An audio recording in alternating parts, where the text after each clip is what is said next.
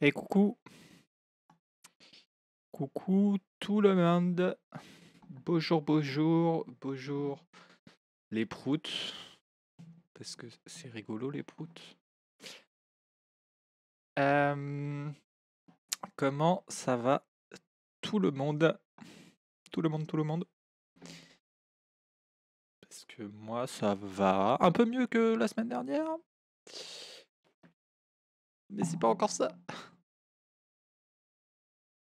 Fatitrans et Win, bah ouais, hein. être euh, queeros euh, dans ce monde euh, cis hétéro-patriarcal, c'est la fatigue, la fatigue permanente. Fatigue permanente, le nouveau collectif de révolution permanente pour toutes les meufs qui sont en burn-out militant.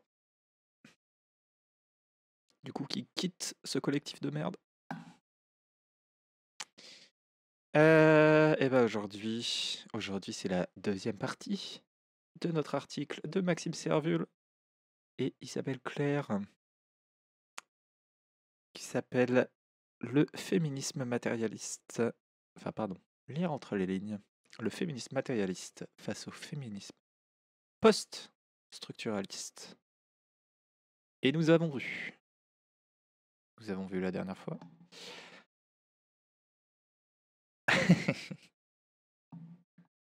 Go créer ça s'appellera Queer. Bah, c'est presque euh, une des origines euh, d'un collectif euh, rennais absolument formidable, créé récemment, notamment par une ancienne d'un syndicat étudiant. bon, c'est un peu ça.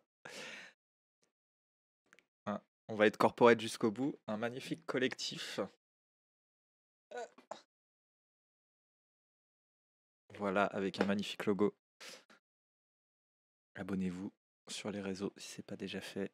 Sur Twitter et sur Instagram. Ça s'appelle Puissance Féministe. Et ça va être très très bien. Enfin, c'est déjà très très bien, mais ça va être encore mieux avec le temps. Euh... Cocopa. Tu connais pas, c'est quoi? Ben, C'est un collectif féministe et queer. Pour les personnes queer ou, comme je préfère appeler ça, des dissidents, des dissidentes de, du genre. C'est-à-dire du système cis hétéro-patriarcal, et validiste et raciste et blablabla. Et capitaliste, évidemment.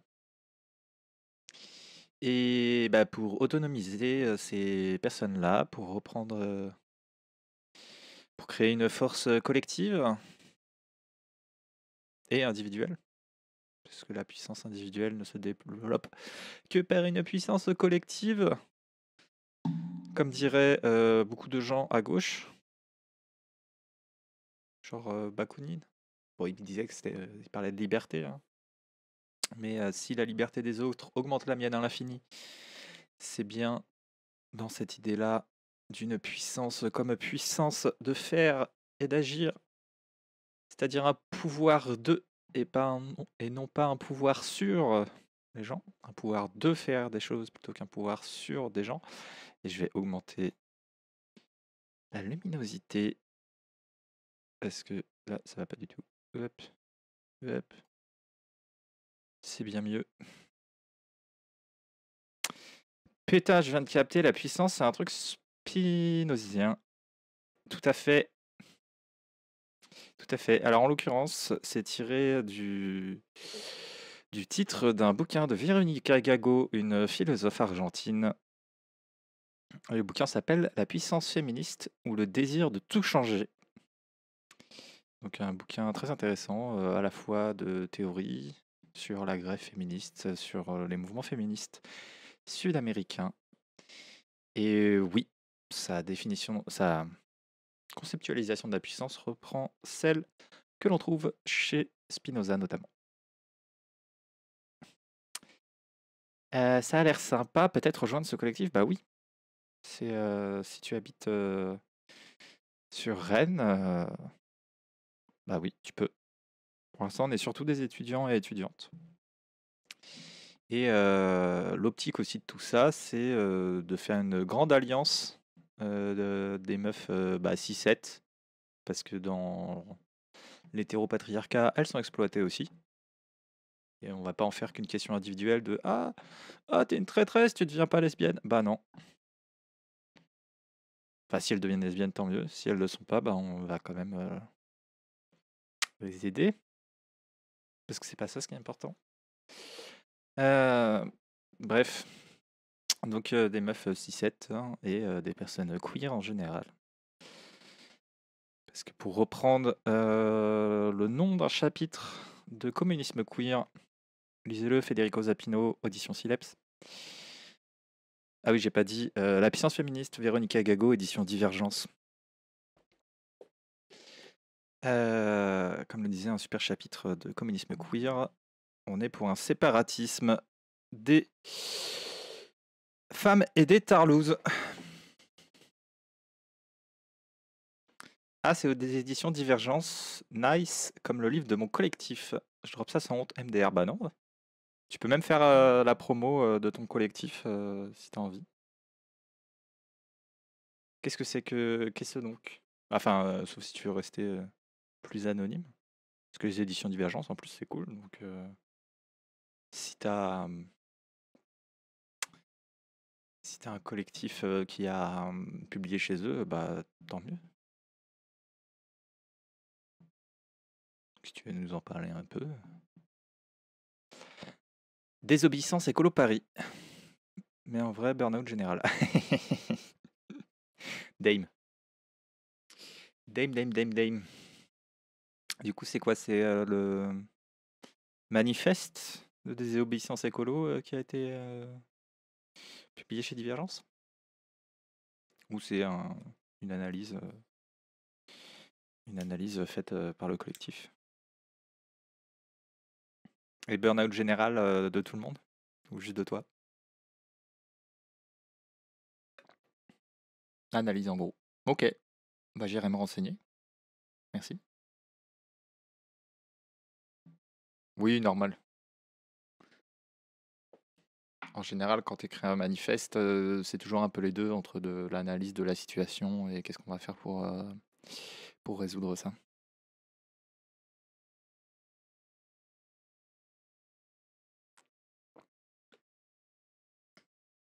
Donc on n'est plus trop. Je sais pas, au taquet, j'imagine, je sais pas. Donc on n'est plus trop. On fait juste notre podcast. J'espère que c'est un podcast plus intéressant que les transphobes de Floraison.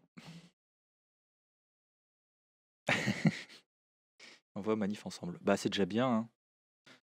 En vrai, dans ces moments-là, faut faire des alliances, faut faire des choses cool et on les tag tranquille. Bah vous faites bien. Et c'est un peu dommage d'ailleurs que la critique de la technique et de la technologie, bah, les personnes qui sont là-dedans, genre bah, floraison, le partage, pièces et main-d'œuvre et des trucs comme ça, soient des gros réacs. Enfin, des gros transphobes de ces morts surtout. Enfin, pièces et main-d'œuvre, c'est vraiment des gros gros réacs pour le coup. Mais bon, comme ils se prétendent anarchistes, qu'il y a des anarchistes pas très regardants, ils font des, font des choses avec d'autres, quoi. Pièces et main-d'œuvre, ils sont à Grenoble. Et Floraison, ouais, bah, pas mal de gens trouvaient ça cool au début, dont moi d'ailleurs. Et puis, bah, ils sont complètement vrillés. Hein. Oui, c'est souvent transphobe, réac, alors qu'il y a des trucs cool à penser. Les critiques de la technique, bah oui, complètement. Bah surtout en plus dans une perspective écolo, quoi. Mais bon, souvent, c'est vite des anarcho-primitivistes à la noix qui, sont transphobes, réactionnaires et qui bandent sur une nature complètement fantasmée. En mode oui, la nature c'est cool et la civilisation c'est pas bien. Cool. Alors, ce qui serait pas mal, c'est de pas reprendre les catégories de nature en mode. bah, enfin, peut-être un peu expliquer les termes. C'est quoi la nature? Qu'est-ce que quelle nature euh, Quel concept de la nature vous utilisez Et alors celui de civilisation, bah n'en parlons pas. Hein. C'est pas le concept le plus chouette du monde. Enfin, j'ai trouvé aucune bonne utilisation de ce concept dans des travaux. Et actuellement, c'est vraiment le truc le plus claqué du monde, très utilisé par l'extrême droite. Ou notre cher président de la République, Emmanuel Macron, qui parle de processus de décivilisation, pour bien reprendre la théorique droitière, extrême droitière. Et avec, bah, ok, avec tout ça, on va partir sur la suite de l'article. hop. Hop. Hop. Ok, c'est mieux. Donc j'ai fait une nouvelle scène pour que l'article soit un peu plus gros. Je je l'ai fait un poil à l'arrache, donc la disposition des formes n'est pas aussi bien que ce que je le souhaitais esthétiquement. Mais bon, au moins c'est plus lisible.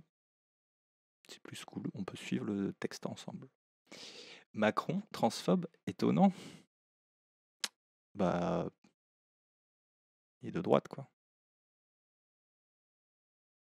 Au pire, il fait de la transphobie. Enfin, au pire, il fait. Le. Pardon, je vais finir. Au pire, il fait voilà, le langage de libéraux qui sont un peu libéraux aussi sur les questions de.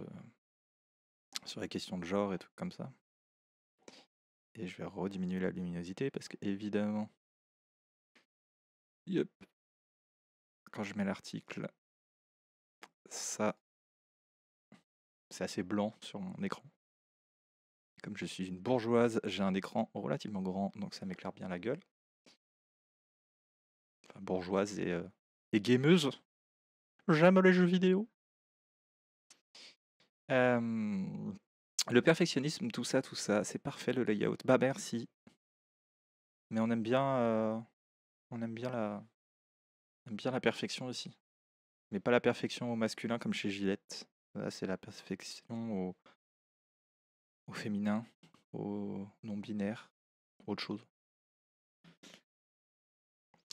Et blanche comme Sandrine Rousseau. Ouais.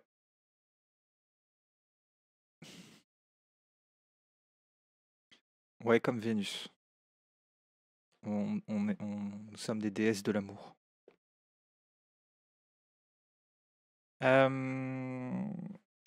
Pour en revenir du coup sur cet article, eh ben, euh, la dernière fois, on avait vu la première approche entre féminisme matérialiste et féministe post-structuraliste. Et la première approche, c'était de les mettre en comparaison sur le plan euh, politique et de voir comment euh, les féminismes matérialistes tentent de s'instituer en un mouvement cohérent sans et a un bloc sans problème entre, entre les différents. C'est pas vraiment des courants, mais entre les différentes penseuses. Face à un post-structuralisme qui serait libéral, individuel et trucs comme ça. Et comment les matérialistes veulent faire. ah oui, bah c'est nous les vraies analyses. Et franchement, c'est chiant parce que on voit ça aussi chez des gens sur Twitter, mais pas que, hein, même dans le vrai monde de la réalité véritable. À base de Ah, les non-binaires, ça n'existe pas parce que c'est pas matérialiste. Ou à base de les mecs trans hors de la hors de la non mixte. Enfin, après, bon, les, les outils de la non-mixité sont à revoir et à penser un peu plus. comment dire? À penser mieux qu'ils ne le sont actuellement. Et surtout pas forcément faire un absolu. Que ce soit dans les mouvements ou les pratiques, de toute façon. Alors je pensais à la marque de rasoir, mais ça marche aussi. Je me tais, je me mets en mode gros cerveau maintenant. Oui, moi aussi je pensais à la marque. T'inquiète, j'avais bien compris mais j'avais pas leur slogan en tête, donc je préfère parler de, de la déesse romaine, enfin gréco-romaine, de l'amour et du cul, de la passion amoureuse. Toute ressemblance avec les discours Twitter d'hier sont fortes vite. Oui, tout à fait.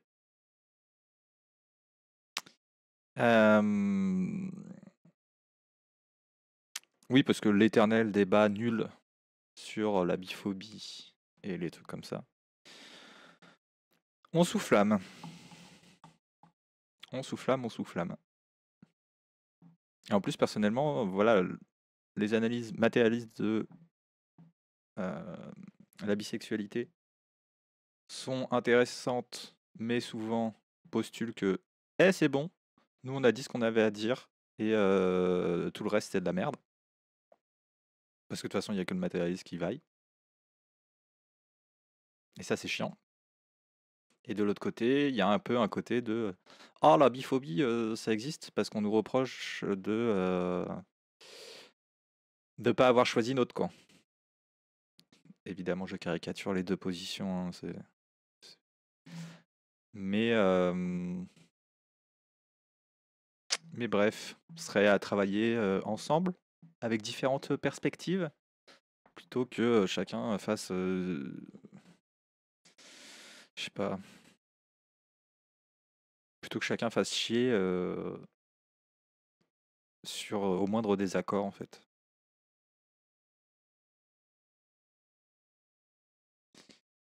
Bref, comme nous l'avions vu, comme nous l'avions vu chez Butler, dans Simplement Culturel, que je n'ai pas encore posté sur YouTube, chez Monmi, il va falloir faire des conflits productifs qui amènent des trucs intéressants parce que sinon. Hello Bétisic, tu te sens comment? Bah, ça va.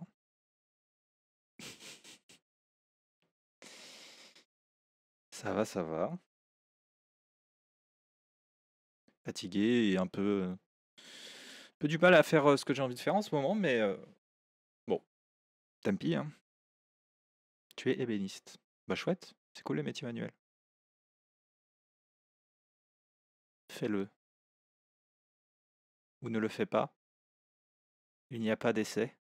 Yoda, euh, l'Empire contre-attaque, 1984, je sais plus. Crois en tes rêves. J'ai pas spécialement de rêve d'être euh, ébéniste. Mais euh, fut un temps, j'ai failli partir en sculpture sur bois, mais j'étais trop dépressif, donc j'ai pas trouvé de d'alternance. J'ai fait un peu de charpente, si tu veux tout savoir.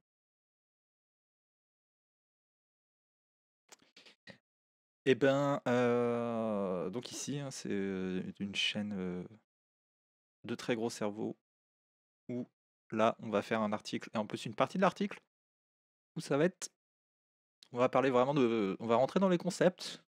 Donc potentiellement donc potentiellement, voilà, poser les questions que vous souhaitez. potentiellement en rapport avec l'article. Est-ce que tu aimes les huîtres? Non. J'ai regoûté à plein de stades de ma vie et je n'aime pas ça. Mais si tu as un cerveau d'huître, ce n'est pas grave. Ici, on accepte tout type de cerveau, même l'absence de cerveau. Et on essaye d'apprendre des choses ensemble. Pof, pof, pof. Eh ben, c'est parti. C'est parti, let's go. Donc déjà, on commence avec un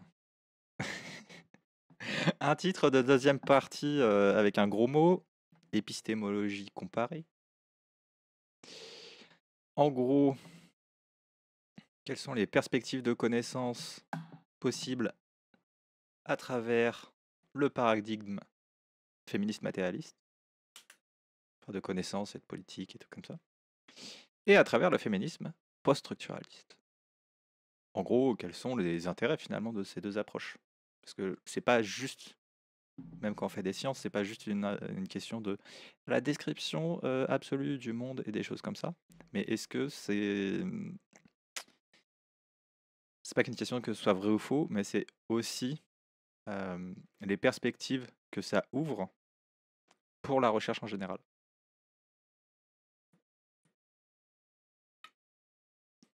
Si tu as un cerveau en forme de cookie, je te conseille de faire une IRM. Ça veut dire que tu as des pépites de chocolat tumeur dans le cerveau. Enfin, après, je suis pas médecin. Donc voilà, on va comparer euh, les avantages et inconvénients de ces deux approches euh, théoriques. Donc la concomitance entre le processus d'institution du féminisme matérialiste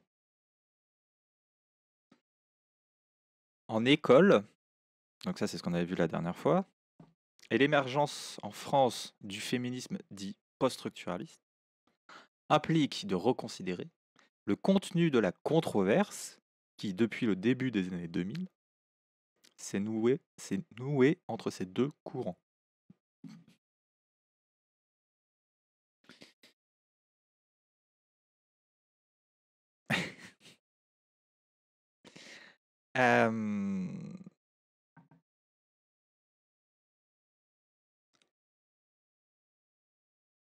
Donc, pardon, je fasse complètement. Donc, il y a bagarre, il y a les matérialistes qui disent oui, ouin ouin, les queers, c'est bah, théorie post-structuraliste et queer, parce qu'en général, ils mettent ça dans, le même sac. ce serait. non, non, t'inquiète. Oui, vous me déconcentrez un peu, mais t'inquiète. On n'est pas là pour faire genre juste la prof qui parle pendant que les gens écoutent doctement. Vous faites ce que vous voulez. Et c'est à moi de, moi de faire ça bien.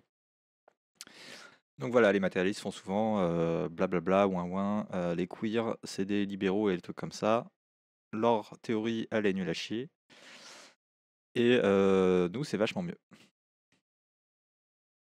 Et en plus, il y a souvent un truc de des matérialistes qui n'ont pas lu de la théorie queer et des matérialistes qui se plaignent que des meufs genre Judith Butler les ont pas lus. Oui, je comprends. Ça doit être frustrant, surtout quand on en arrive à un constructivisme radical de la question du genre, dans le sens, bah, c'est pas du tout naturel.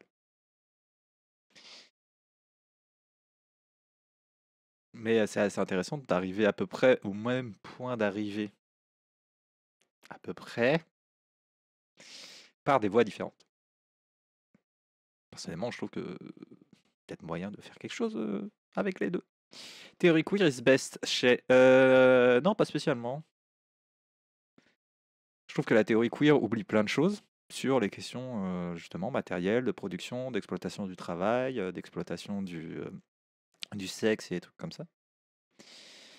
Et je trouve que les théories matérialistes oublient beaucoup de choses dans l'ordre du culturel, dans l'ordre de la sexualité, des sexualités en général, sur les questions de, de transitude et de choses comme ça. Donc, je sais pas s'il y en a une qui est mieux que l'autre. C'est juste, est-ce qu'on peut faire une synthèse? Ou est-ce qu'on peut les mettre en conflit à peu près qui donne un truc assez intéressant? Là, le truc. De toute façon, spoiler, cet article, clairement, il, a tendance à chier un peu sur, un sur les matérialistes. Mais c'est pas à chier. À les mettre face à des contradictions. Mais voilà, le but, c'est pas de dire qui c'est qui est le mieux, c'est que dans les deux, en fait, il y, a des points aveugles.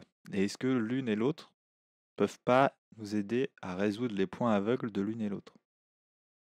Enfin, moi, c'est ce que je me pose comme question. Et oui, j'ai spoilé. Tu peux quitter le live si,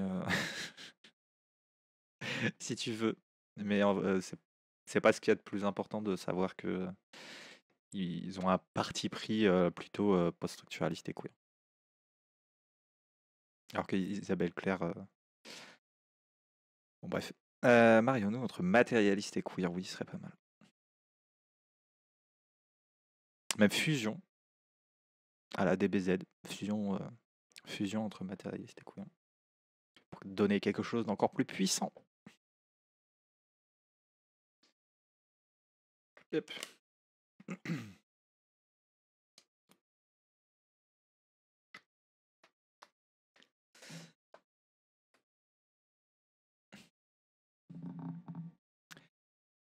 Particulièrement déséquilibrée, donc la controverse entre les deux, celle-ci prend surtout la forme d'une opposition radicale au, au post-structuralisme et à la théorie queer, à propos desquelles on agite le chiffon rouge du post-modernisme. Voilà. Les post-modernes, les post-mots, c'est euh, un truc euh, hyper mal défini, très utilisé par la droite. Ça fait longtemps qu'on les entend plus trop. Euh, ils parlent que de woke, mais mais c'était c'est tout comme quoi. Mais c'est vrai qu'il y a une tendance au sein d'une certaine gauche, un peu marxisante, de chier sur l'épouvantail, euh, le chiffon rouge du postmodernisme. Donc, leur, leur sophistication théorique apparente masquerait mal leur superficialité, voire leur vacuité, loin des très très très concrets enjeux. Donc là, on parle, des, on parle, on parle de, post-structuralistes. hein. À l'intérêt pour les processus discursifs, donc discursif, c'est tout ce qui a trait au discours, au discours, au langage, aux représentations. À l'intérêt pour les processus discursifs de construction du genre et des sexualités, on oppose alors la matérialité des rapports de sexe. Donc, rapport de sexe en tant que dominé, exploité. Euh, euh, l'un par l'autre. Sur des choses très très concrètes que sont le travail et des choses comme ça. Alors que le post-structuralisme ne s'occuperait que de culture. Mais on a vu avec Judith Butler que ce n'est pas simplement culturel ces questions-là, et que même le culturel a quelque chose à voir avec les rapports matériels.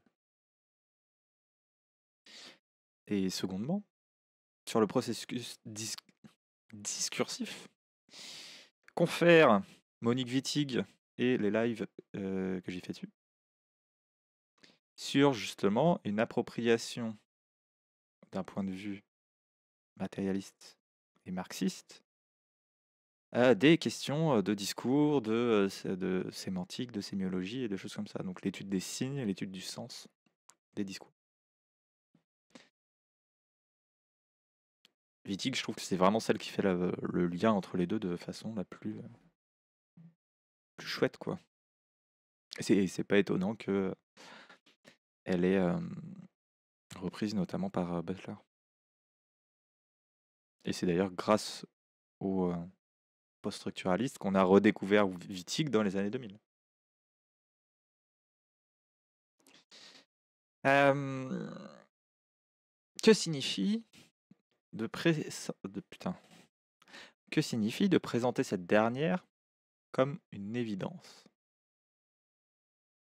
Avant de s'interroger sur ce dont cette matérialité est faite, il importe de prêter attention au geste qui consiste à la constituer en postulat épistémologique.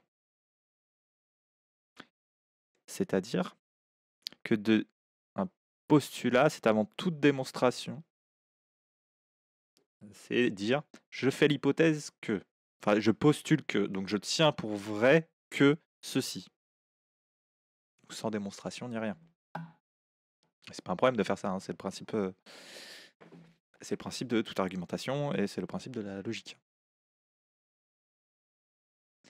Euh, c'est de dire, je fais une proposition et cette proposition, je la considère comme vraie.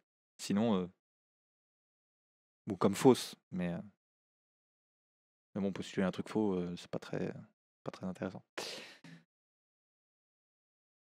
Et donc la constituer en postulat épistémologique, c'est de dire, je postule que ce qu'est la matérialité, ce ne sont que les rapports sociaux d'exploitation et de domination.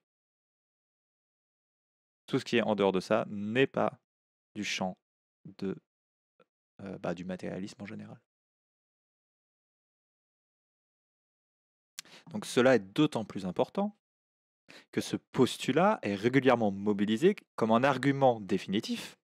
Et là, vous voyez bien la couille qu'il y a entre postulat et argument définitif, puisque le postulat n'est justement pas un argument définitif. Le postulat, c'est ce qu'on présuppose. C'est ce qu'on postule. Postule comme vrai, sans démonstration. D'ailleurs, je pense que s'il y a des logiciens et logiciennes dans la salle qui vont me faire chier sur le fait que postulat et prémisse, c'est pas exactement la même chose, mais euh, fuck. On n'est pas là pour faire un cours de logique. Mais c'est euh, un peu tout comme quand même.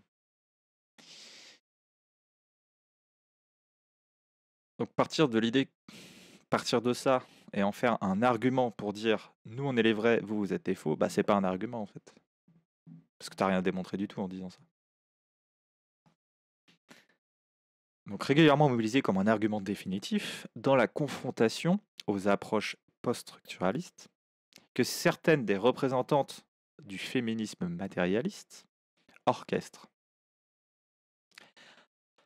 Comme l'écrivent par exemple Stevie Jackson, auquel j'ai consacré deux lives sur un article qui s'appelle Récent débat sur l'hétérosexualité, une approche féministe matérialiste.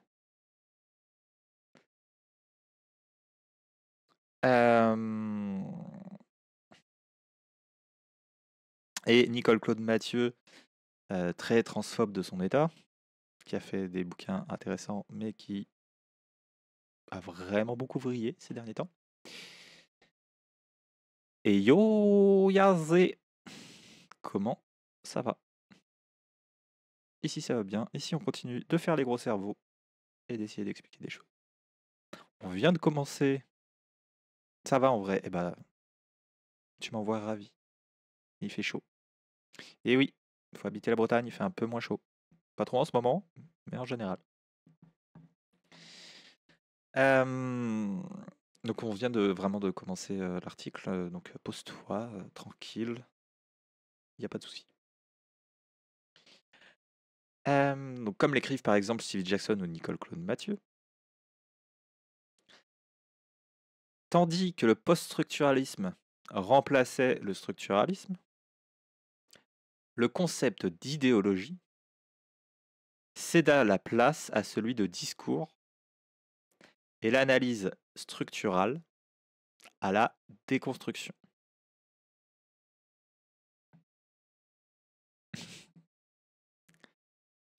Donc le concept d'idéologie, c'est quelque chose qu'on retrouve vachement euh, chez, Marx, qui a beaucoup travaillé sur cette question-là. Et là, Jackson déplore que le concept d'idéologie est un concept intéressant et bien formé, a été remplacé par, le, par celui de discours. Et ce qui est assez intéressant, c'est que la plupart des trucs post-structuralistes et des courants dits qui s'attaquent à la question de l'idéologie en tant que matérialité, et eh ben, enfin genre même comme Butler et trucs comme ça, ils ont vachement récupéré la question de l'idéologie à Althusser. Althusser qui a travaillé la question de l'idéologie à partir notamment des écrits de Marx et des choses comme ça, comme ayant un, une force une force sur la société. Et non pas juste une superstructure qui est déterminée par des rapports économiques. Donc là, dire le concept d'idéologie c'est à la place à celui de discours, bah en tout cas, je connais pas tout euh, chez les post-structuralistes et queer, mais en tout cas chez Butler, c'est faux. Ah oui, Butler, elle kiffe Althusser, non Bah oui, complètement et l'analyse structurale à la déconstruction. Bah après, l'analyse structurale dans le structuralisme, bah, si c'est Lévi-Strauss ou Lacan qui essaient de trouver des fondements universels et anhistoriques, donc de tout temps, les hommes ont eu un système de parenté, blablabla, et de tout temps ils ont prohibé l'inceste. Bah, je sais pas si pour des marxistes c'était vachement intéressant d'avoir une analyse en termes de structure universelle. Bref, petite critique, euh, en tout cas de cette première phrase de Steve Jackson. Voilà, déconstruction. Même eux, voilà, ils se plaignent de la déconstruction. Enfin, même elle. Donc par la suite, euh, le scepticisme postmoderne, on retrouve le mot, à l'égard de toute prétention à la vérité, ainsi qu'à l'égard des méta-récits, discrédita encore davantage l'analyse de l'oppression économique et sociale comme système. Beaucoup de, choses à dire, et notamment sur euh, la prétention à la vérité. Oui, les postmodernes, c'est du relativisme, euh, tout est culturel et trucs comme ça. Non, c'est pas ça, mais c'est au moins faire un avoir un minimum de prudence face à tout discours. Et les sciences sont des pratiques et un discours sur le monde. Et qu'en tant que discours, est porteur de sens euh, et de choses comme ça. Et que, et que euh, oui, faites chier en fait à chercher une vérité euh, universelle et des trucs comme ça. Même déjà toute l'histoire des sciences. Bref. Et à l'égard des méta-récits. Souvent, les méta-récits, on parle. Bah, là, en l'occurrence, quand c'est des matérialistes qui en parlent, c'est par exemple le méta-récit initié par Marx sur le sens de l'histoire. Sur le fait que le capitalisme. Enfin, que le moteur de l'histoire, c'est la lutte des classes.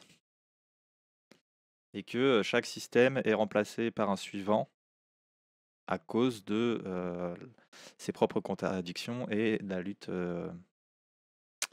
la lutte entre ces deux classes antagonistes constituantes. Et là, en l'occurrence, le capitalisme, qui finira par devenir le communisme. Un peu, et c'est chiant hein, parce que c'est, c'est toujours un peu, comment dire, téléologique c'est-à-dire par les, causes finales, c'est parce que le monde doit nécessairement, enfin c'est pas il doit nécessairement aller vers là, c'est parce que quand on dit téléologique, c'est souvent que la fin, par exemple, d'un processus implique tout ce qui s'est passé avant, mais même à causer euh, ce qui est arrivé avant. Par exemple, typiquement l'adage la nature ne fait rien en vain. C'est-à-dire que c'est en vue de ce qui va se passer à la fin qu'il se passe des choses actuellement. Alors que bah non. si on parle de causalité, c'est parce qu'il s'est passé quelque chose à un certain moment par rapport à un passé précédent qui s'est passé à un tel futur. Mais c'est pas parce qu'il y avait déjà ce futur-là dans la dans le présent. Et parfois, il y, y en a beaucoup qui, ont une lecture de matérialisme dialectique et de, du sens de l'histoire en tant que bah, ça, ça, ça, va nécessairement arriver. Bon, déjà.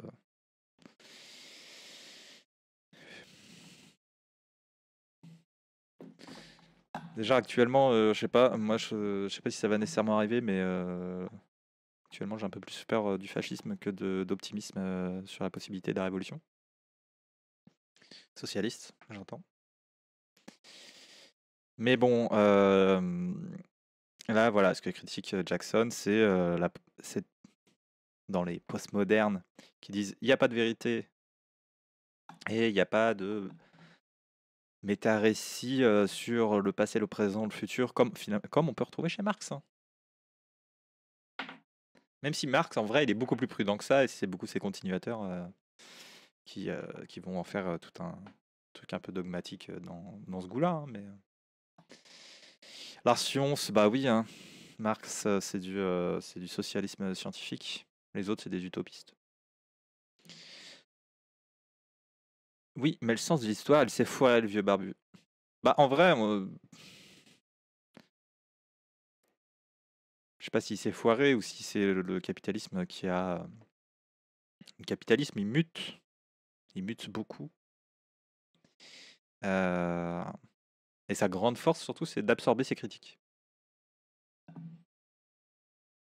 C'est d'absorber ses critiques et euh, on pourrait même le dire euh, avec ce cette fameuse blague un peu cynique de le capitaliste vendra la corde qu'on lui mettra au cou. Nous vendra jusqu'à la corde qu'on lui mettra au cou. Je pense que c'est vrai en plus. bon, bref. Euh, petite critique du postmoderniste de façon foireuse. Mais surtout que l'URSS n'était pas du tout sorti du capitalisme. Euh, bah, des analyses euh, plutôt du côté des libertaires et trucs comme ça considèrent l'URSS comme un capitalisme d'État. c'est plutôt du côté libertaire, mais pas que, hein, il y, en a aussi. C'est-à-dire que. comment dire? Non, j'ai pas envie de partir là-dedans, en fait. Ça va être long et chiant, et je crois que je m'y connais pas assez. Bah, il est... Mais après, oui, ils étaient sortis d'une certaine forme de capitalisme. Mais bah, à mon avis, c'est objectif qu'une classe politicienne contrôlait la plus-value des travailleurs pour la réinvestir et en régénérer. C'est toujours le MCM'. Oh là là On a des gens qui ont lu le Capital dans le chat. Alors. Euh, en plus, non, d'ailleurs. C'est pas le. Euh, attends, MC, c'est quoi le C? Ah, marchandise capitale, euh, marchandise. Alors, petit. Justement, le. J'ai pas lu le capital, c'est faux, j'ai juste une formation sur le salariat. Ok. Bah, moi non plus, j'ai pas lu Capital, mais j'ai eu quelques cours en économie politique. Le point M a pour symétrie M' par rapport à C, point centre.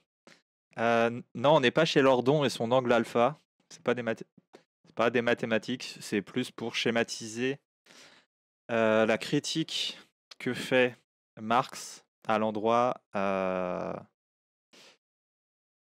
l'endroit des économistes classiques. Putain, j'ai jamais cité cette équation alors qu'avec des mots, c'est plus simple, je crois. J'ai jamais bité. Alors.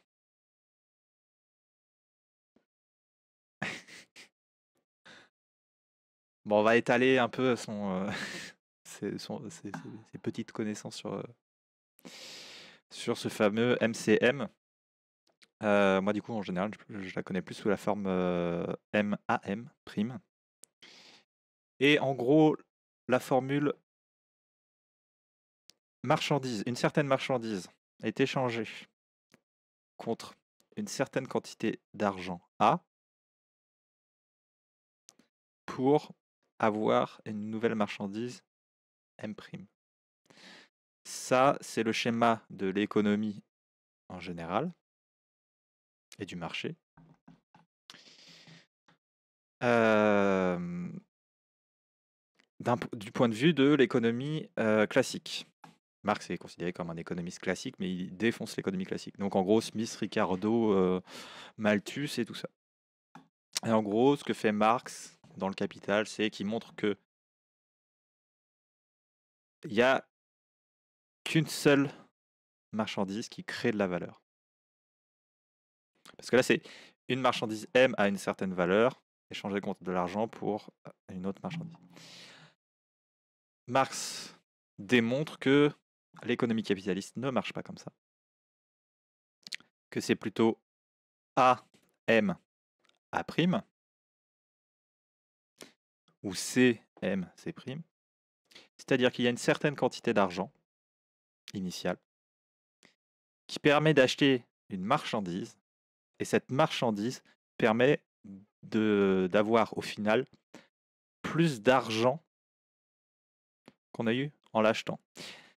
Et cette, et cette marchandise magique qui crée de la valeur, est-ce que vous savez ce que c'est?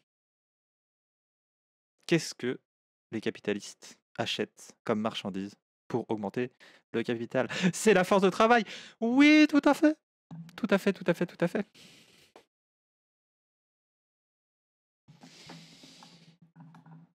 Donc voilà, euh, création de création de la valeur en économie capitaliste. Et accumulation euh, euh, infinie du capital par l'achat de la seule marchandise qui produit de la valeur, euh, qui est la force de travail. Voilà. Ce que j'ai envie de vous dire, lisez Marx, peut-être pas le capital. Clairement, c'est long et chiant. Mais essayez-vous de vous faire résumer un peu les trucs, parce qu'en vrai, c'est assez intéressant. Et pas que du niveau. Le capital, c'est hyper économie et trucs comme ça, mais euh, Marx, c'était quand même pas mal philosophe aussi. hein, donc, euh, je sais qu'il y en a beaucoup qui disent il y a deux périodes, il y a le jeune Marx et celui d'après, je sais plus quoi. Et même le jeune Marx, je trouve qu'il dit des trucs hyper intéressants, philosophiquement parlant. Travail salarié et capital, salaire, prix et profit, c'est les cheats pour pas lire le capital. Mais quand même avoir l'analyse éco. Tu parles de. Tu parles de quoi? Un truc qui était diffusé sur Arte? En quatre, quatre parties Il y a Marx le Twink et le Marx le Daddy. Ouais. Le Daddy, c'est celui du capital, surtout. Le Twink, c'est celui du manifeste. Et des manuscrits, des divers manuscrits.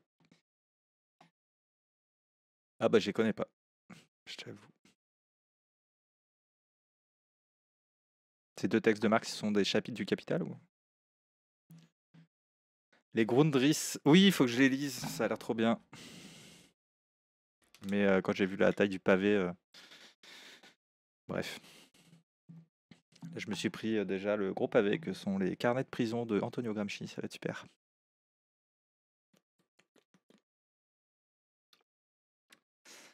Bref, on dit vague. Vague.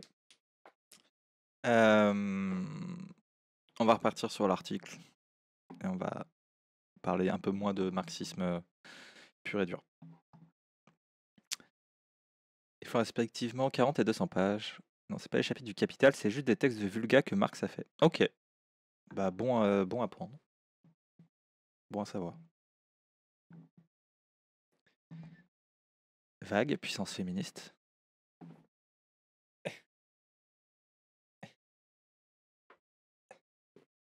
Voilà. Euh... Euh... Putain, où j'en suis? Non, mais t'inquiète. C'est nous qui parlons sérieusement parce qu'on fait les gros cerveaux, genre... euh, Genre, ouais, on a lu tout Marx. Enfin non, en plus on dit même pas qu'on a lu tout Marx. Pour finir, ces sortes de théories détournèrent complètement les féministes de tout matérialisme fondé socialement. Comment il y va fort, Steve Jackson? En gros, ils sont nuls. En gros, ils parlent que de culture. Ils parlent que de discours. Les. Donc là, après, c'est Nicole Claude Mathieu. Les aspects symboliques, discursifs et parodiques du genre sont privilégiés au détriment de la réalité matérielle et historique des oppressions subies par les femmes. Bon, la transphobe, euh, voilà.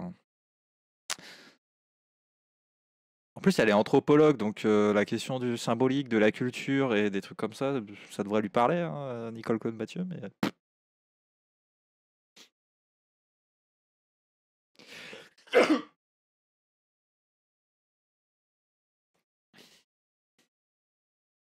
Ah, pardon.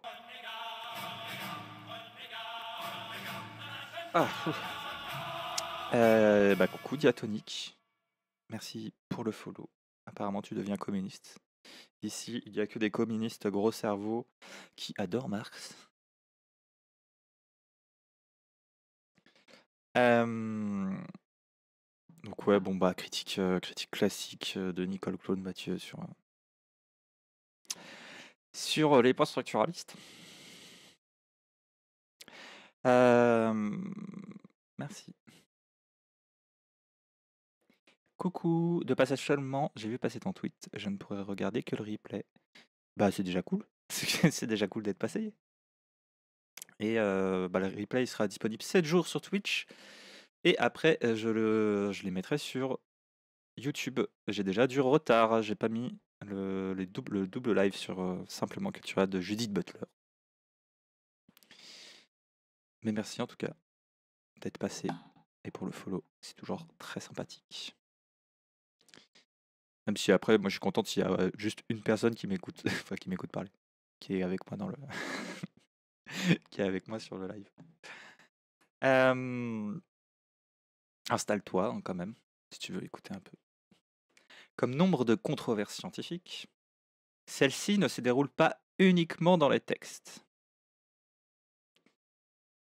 Elle se joue également dans des prises de position orales, à l'occasion de colloques, journées d'études ou séminaires. C'est ce qu'on a vu dans le premier, heu, hem, dans la première partie de l'article, sur, heu, tentative, d'hégémonie au sein de, bah, de tout ce que le du champ scientifique et universitaire. Et donc pas juste conceptuel. Dans ces contextes, heu, et dans les glissements que l'oralité autorise, cette position s'exprime de manière plus directe, dans des interjections. Ah oui, bien sûr! Bah oui, tout est discours. Et la matérialité alors? Ça me fait chier, c'est pratiquement ce que j'ai reproché à Léane Alestra, heu, dans ce bouquin, heu. Les hommes hétéros le sont-ils vraiment? Quand je l'ai vu dans une librairie? Ça m'a fait chier de passer pour la matérialiste nulle. Heu, ça arrive. Hem, parfois accompagné d'un petit geste révélateur, la phalange tapotait contre la table pour montrer que la matérialité, elle est là! Elle est dans ce bureau, dans cette table que je touche. La matérialité est ainsi d'abord présentée comme irréductible au langage dans lequel elle s'énonce. Et c'est d'ailleurs très étonnant puisque nous avons vu avec Christine Delphy papesse de son état du féminisme matérialiste que le monde physique n'est pas un donné en dehors du langage.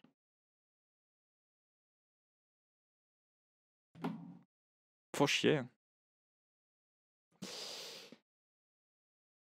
Une fois de plus, on montre, leur truc de, à trop vouloir jouer le premier qui serait le monde matériel face au second qui serait le langage et ben, on peut vite retomber dans de l'essentialisme nul, hein.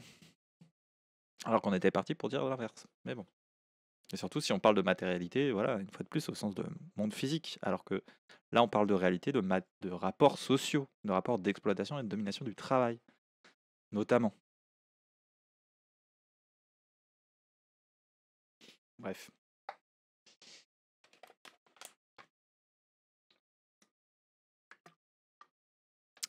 Donc elle se trouve ancrée dans un lieu hors discours, voire même marquant la limite entre le discursif et l'extra-discursif.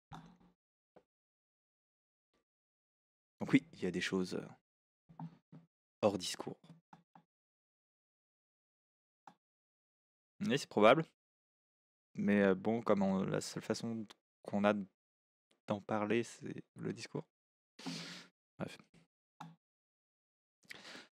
Une telle démarcation ne peut cependant être établie qu'au travers de pratiques de signification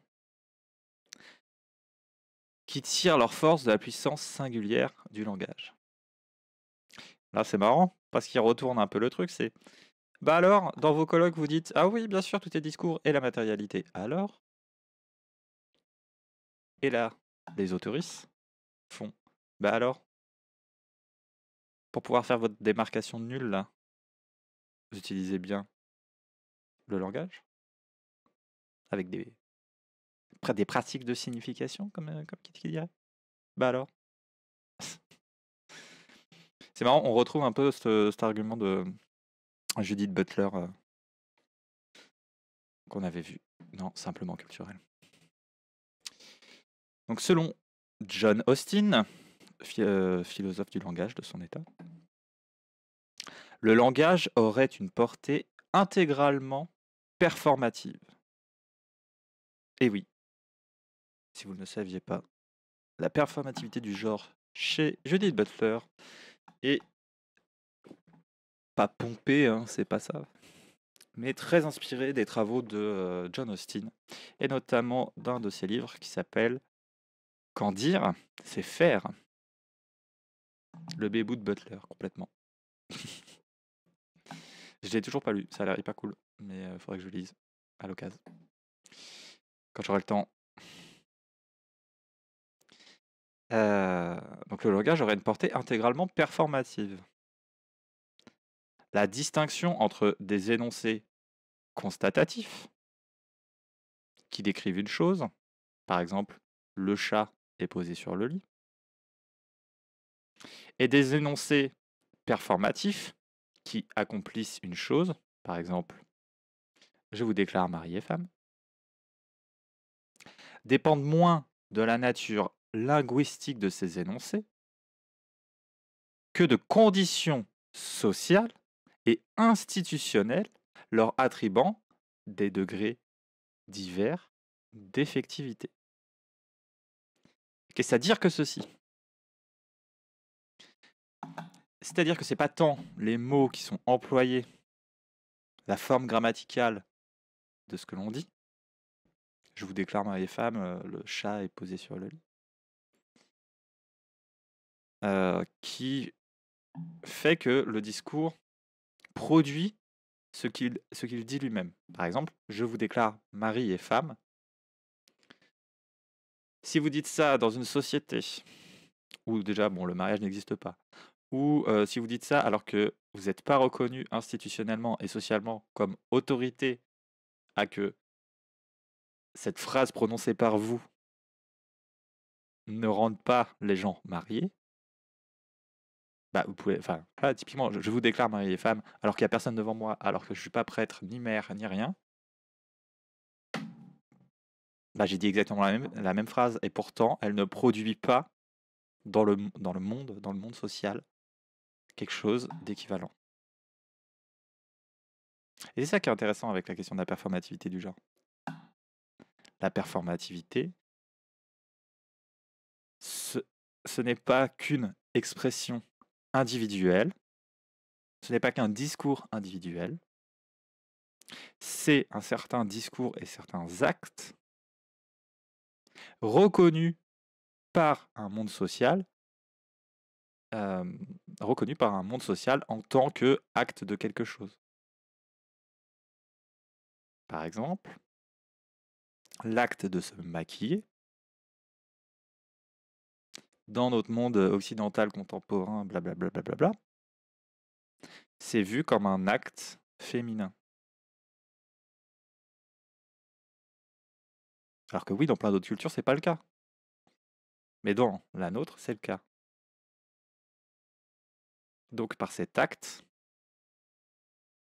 je donne des signes et je produis, et on va même aller plus loin, voilà, on va aller euh, chez Butler, je produis toute ou une partie du genre féminin.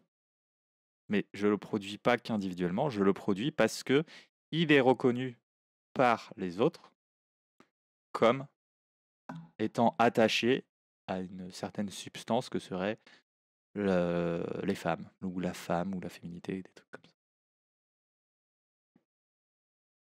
Donc on voit très bien que dire que Butler c'est individualiste, les queers c'est individualiste et des trucs comme ça, alors que tout le concept de la performativité fonctionne quand, euh, contexte culturel, c'est stupide. Enfin, c'est de la mauvaise foi pure. Bref, continue.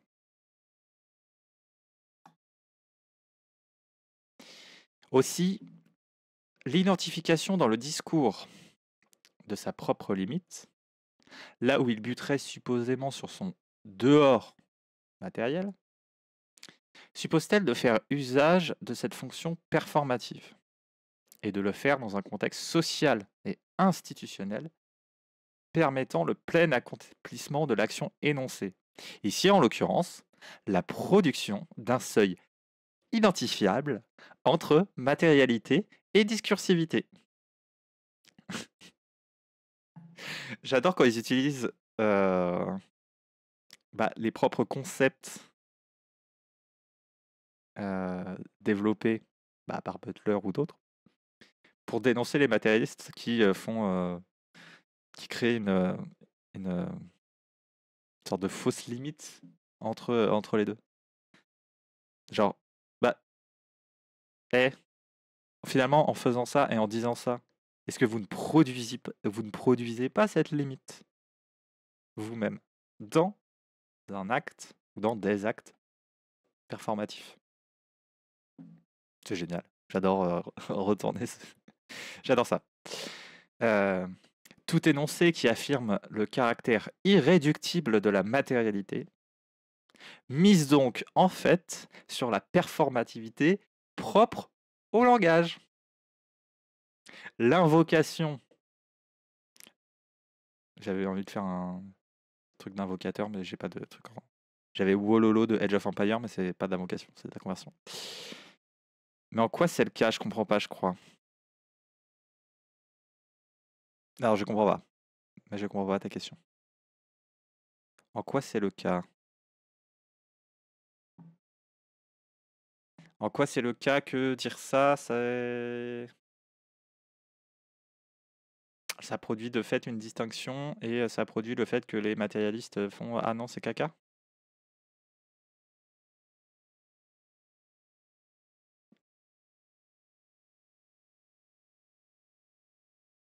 En quoi c'est le cas? Ah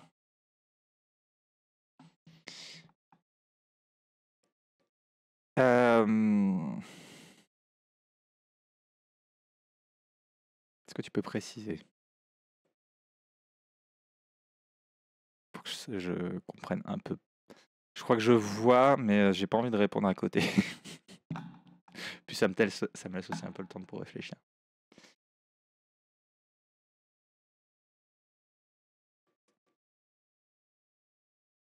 Je vais finir quand même, puisque mon petit truc jaune.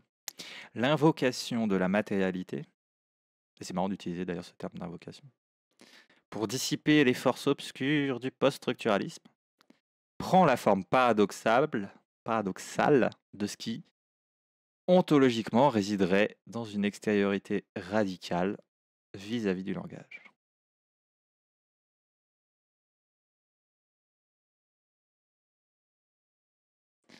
Donc, par le discours où on dit la matérialité, c'est ça, c'est ça, en pointant des, choses, en disant ce n'est que les rapports sociaux, ce n'est que ça.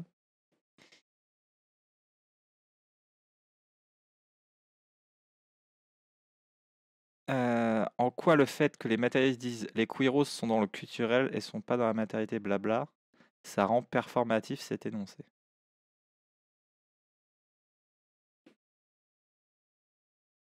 Bah, en fait, par le simple on en revient pratiquement, à la première partie quand on parlait de, conquête hégémonique, de, faire, faire ce genre de choses. C'est-à-dire qu'en le disant mais parce que ça ça le rend réel, parce que ça produit chez, ça produit chez les personnes un certain rapport au monde et un certain comportement de ceci par rapport au monde. Typiquement, les matérialistes qui vont pas s'occuper des questions queer, c'est produit notamment par ce genre de discours. Et aussi, ce qui. Donc ça le rend. En fait, ça rend réel. c'est pas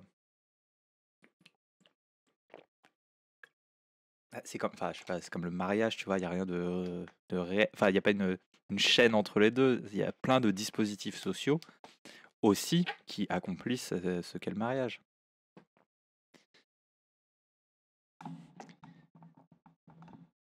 Mais en fait, rien qu'en le, le disant, de façon répétée en plus, bah, ça empêche plein de choses de se produire. Notamment le fait que les matérialistes en aient quelque chose à foutre de ces questions-là. Et surtout, autre chose que les autoristes développent, c'est en plus leur discours dit la question matérielle, la matérialité est en dehors du discours. Mais ils le font en utilisant le discours. Mais après, c'est le truc qui fait les nœuds au, cerveau, hein, les, questions de langage et tout. J'ai très envie de faire pipi. Je suis désolé. Je bois toujours trop de flotte. Mais bon, dans 10 minutes, c'était la pause, mais j'ai pas trop envie de. Donc, je vais faire la pause maintenant, si ça vous dérange pas trop. Et puis, on revient pour la suite. Et c'est cool, on a lu une page. Il nous en reste. Il y en avait 16 en comptant. enfin, il y en avait 22 au total, mais 16 si on enlève la bibliographie. Donc, on va essayer d'aller un tout petit peu plus vite dans la suite. Et euh, c'est pas par rapport aux questions, hein, c'est juste moi qui ai digressé. Donc, sois pas désolé. Hein. T'as as bien raison. Et j'espère que ce que j'ai dit, c'était un peu. C'était une vraie explication parfois j'ai toujours un peu de mal à expliquer. Pour moi, ça me paraît, je sais pas, évident dans ma tête et parfois c'est pas toujours évident à expliquer. Euh, donc, euh, ben, à tout à l'heure. Ici le retour. C'est le retour du pipi. C'est le retour de la cloclope. Euh, et c'est le retour de l'article Gros cerveau on a essayé un peu d'expliquer pourquoi la délimitation que font les matérialistes entre oui, nous on parle du vrai monde de la réalité véritable et des trucs matériels, et vous c'est nul. Et eh ben, ça pouvait s'expliquer via le truc via la performativité du langage et de d'utiliser ce discours faire advenir, blablabla, tout ça. Donc, on va continuer. Cependant, comme l'écrit Judith Butler, avoir un concept de la matière, c'est déjà perdre l'extériorité que le concept est supposé fixer. Est-ce que j'explique ça?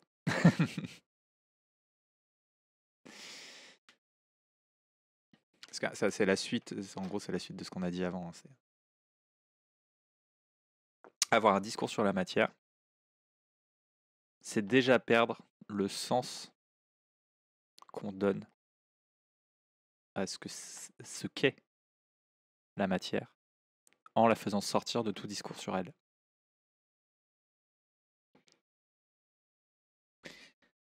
Le langage peut-il se contenter de se référer à la matérialité?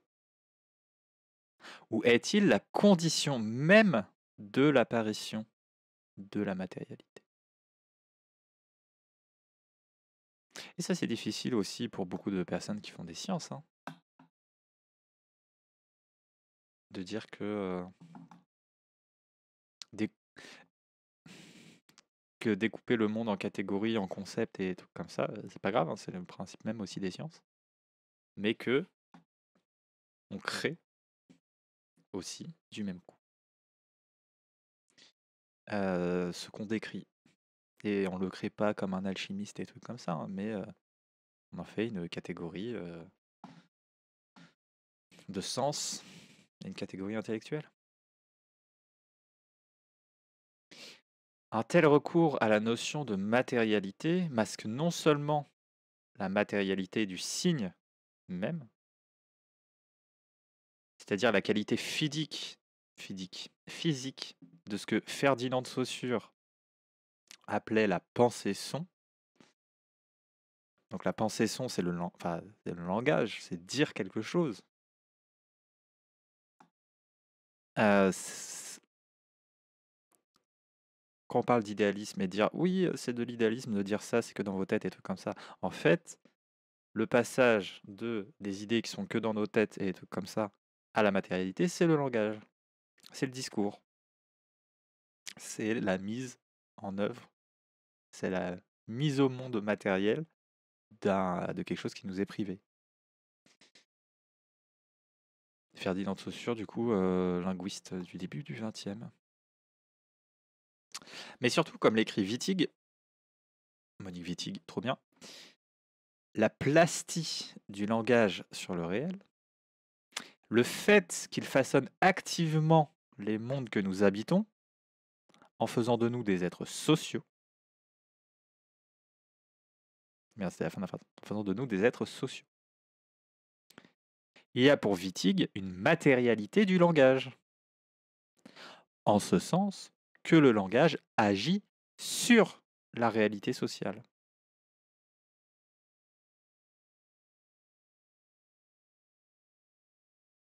C'est-à-dire que le, sens, et même rien qu'un discours produit, produit des affects.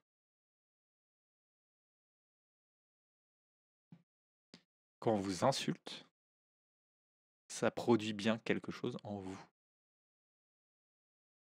Un sentiment. Un affect. Une émotion.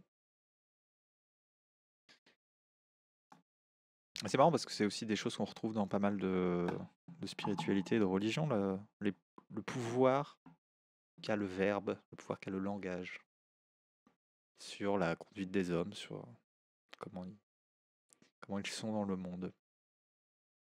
Bref. Ainsi écrit-elle, la transformation des rapports économiques ne suffit pas, car il y a un autre ordre de matérialité qui est celui du langage et qui est travaillé par des concepts stratégiques. C'est marrant, je ne sais pas si Wittig est lectrice de Althusser ou de Gramsci et des choses comme ça. Mais on trouve des choses assez proches pour dire que l'idéologie n'est pas que du propre de l'idée et de l'intériorité des gens, puisqu'il est mis en langage et il est mis à la possibilité des autres êtres humains avec qui on vit dans un monde social d'en faire quelque chose. Mais une fois de plus, ça ne dit pas qu'il faut se contenter non plus que du discours mais il faut aussi l'analyser. C'est pas pour rien que, enfin, je sais pas, le langage néolibéral, managérial et trucs comme ça n'est pas qu'une question de, comment dire? De surplus à des façons de faire. C'est aussi une façon de légitimer. C'est une façon de faire accepter. Quand on dit collaborateur et pas salarié.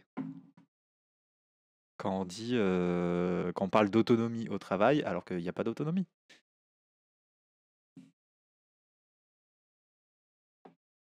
Bref, il faut aussi investir ce champ-là.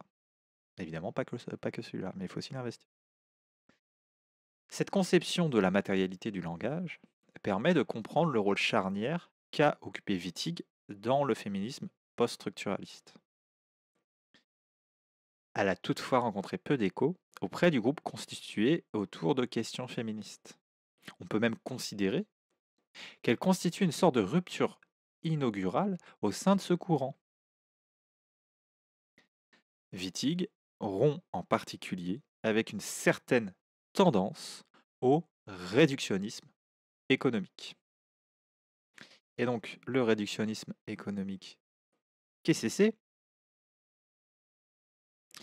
C'est une fois de plus, de mettre un primat sur les rapports économiques et notamment d'exploitation et de domination.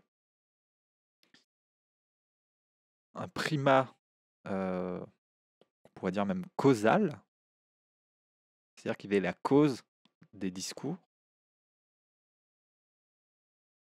euh, sur, par exemple, la différence des sexes et euh, des choses comme ça. Ce qui est une analyse intéressante, mais qui manque quelque chose dans son objet. Class first, en gros. Bah, class first, ou le truc, c'est que par exemple, Delphi, elle a aussi cette vision-là. C'est un réductionnisme économique, mais sur la question de classe de sexe. Après, c'est parce qu'elle a travaillé pratiquement que sur la question du travail domestique. Mais bon, c'est pas parce qu'on a travaillé que sur une question qu'on peut faire, qu'on peut dire que bah tout est là en fait. C'est comme quand on dit oui, bah les marteaux, ils voient tout, comme des clous. Ou n'importe quelle personne que vous connaissez qui a fait des études de n'importe quelle chose dit bah le monde de toute façon il est que de cette chose-là. Les mathématiciens vont dire oui le monde est mathématique, les physiciens oui le monde est physique, les philosophes oui c'est que de la philosophie, et etc. etc. En plus, le réductionnisme économique. En plus, bon, c'est un peu bourrin de dire ça, parce que c'est vrai que Delphine non plus ne fait pas un, réductionnisme économique le plus fort. Mais en fait, mais en fait c'est chiant.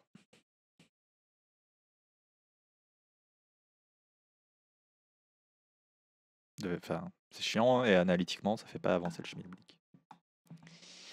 Cette tendance que Michel Barrett et Mary McIntosh ont dénoncée dans les travaux de Delphi est inhérente à une application rigide du modèle base superstructure. Donc c'est le modèle qu'on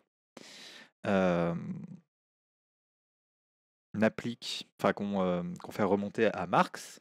La base, ce sont les rapports économiques, c'est le système de production, blablabla. Et la superstructure, c'est l'État, l'idéologie, le droit, tout ça, tout ça. Et une certaine lecture de Marx fait de cette base la détermination première et dernière de la superstructure.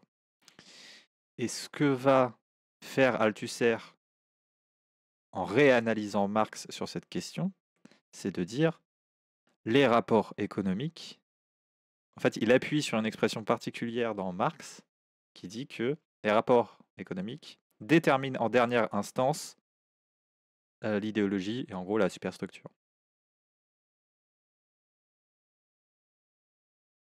Et Althusser va, va appuyer sur le fait que Marx dit en dernière instance. C'est-à-dire que s'il y a des conflits idéologiques, politiques et choses comme ça, qui n'arrivent pas à se résoudre, en dernière instance, ce sera les modifications des rapports économiques qui produiront quelque chose. Et pas, de base, c'est les rapports économiques et c'est tout. Donc il y a des choses à jouer sur la question de l'idéologie, du langage, de la politique.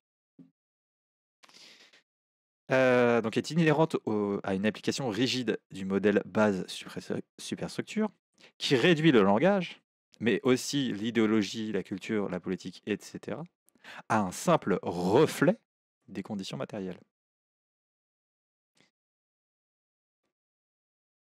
C'est-à-dire que l'idéologie, la culture et la politique n'a aucune influence sur les conditions matérielles. Elles ne sont que la forme en gros visible. On va dire c'est la partie émergée de l'iceberg. Et ce qu'il faut comprendre, c'est ce qu'il y a en dessous. Alors que oui, bien sûr, il faut comprendre les conditions matérielles, comment ça se fait et tout comme ça. Mais c'est pas suffisant. Ou en tout cas, c'est plus suffisant. Il y a suffisamment d'auteurs et d'autrices qui ont travaillé sur cette question pour qu'on arrête de dire bah il n'y a que ça qui compte.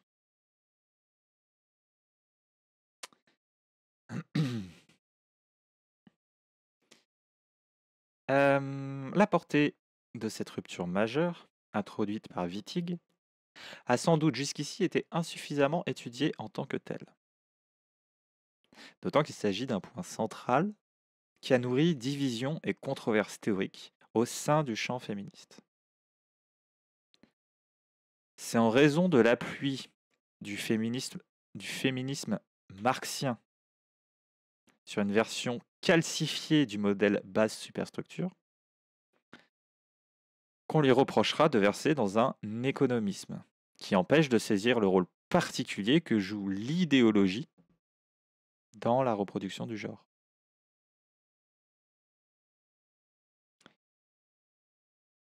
Le texte de Barrett, intitulé Idéologie et production culturelle du genre, publié dans ce numéro, euh, est initialement paru en 1980 dans ce classique du féminisme marxiste qu'est Women's Oppression Today.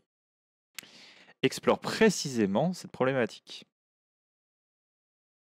Alors, je vais me le surligner en vert pour me dire qu'il faut que j'aille creuser cette source euh, à l'avenir. faisant le constat de la faiblesse des conceptualisations marxiennes, marxistes et féministes de l'idéologie, et tout particulièrement des théories du reflet, donc Euh, salut Godzilla. Nya nya nya. Bienvenue, bienvenue à toi. Nya. Ou plutôt, nya. Non, j'arrive pas à le faire. Je suis pas une vraie cat girl. Donc tout particulièrement des théories du reflet, donc l'idéologie, la politique, la culture comme simple reflet des conditions matérielles, donc des rapports économiques. Barrett dresse un état des lieux du débat en évaluant les apports et limites sur ce point des approches discursives et des positions issues des cultural studies. cultural studies que j'ai commencé vaguement à lire, notamment au travers de Stuart Hall. Stuart Hall, grand lecteur d'Althusser. Cet exposé lui permet de tracer les contours d'une théorie féministe marxiste de l'idéologie, apte à rendre compte du rôle que jouent les formes et pratiques culturelles dans le développement de la conscience et la transformation de la subjectivité.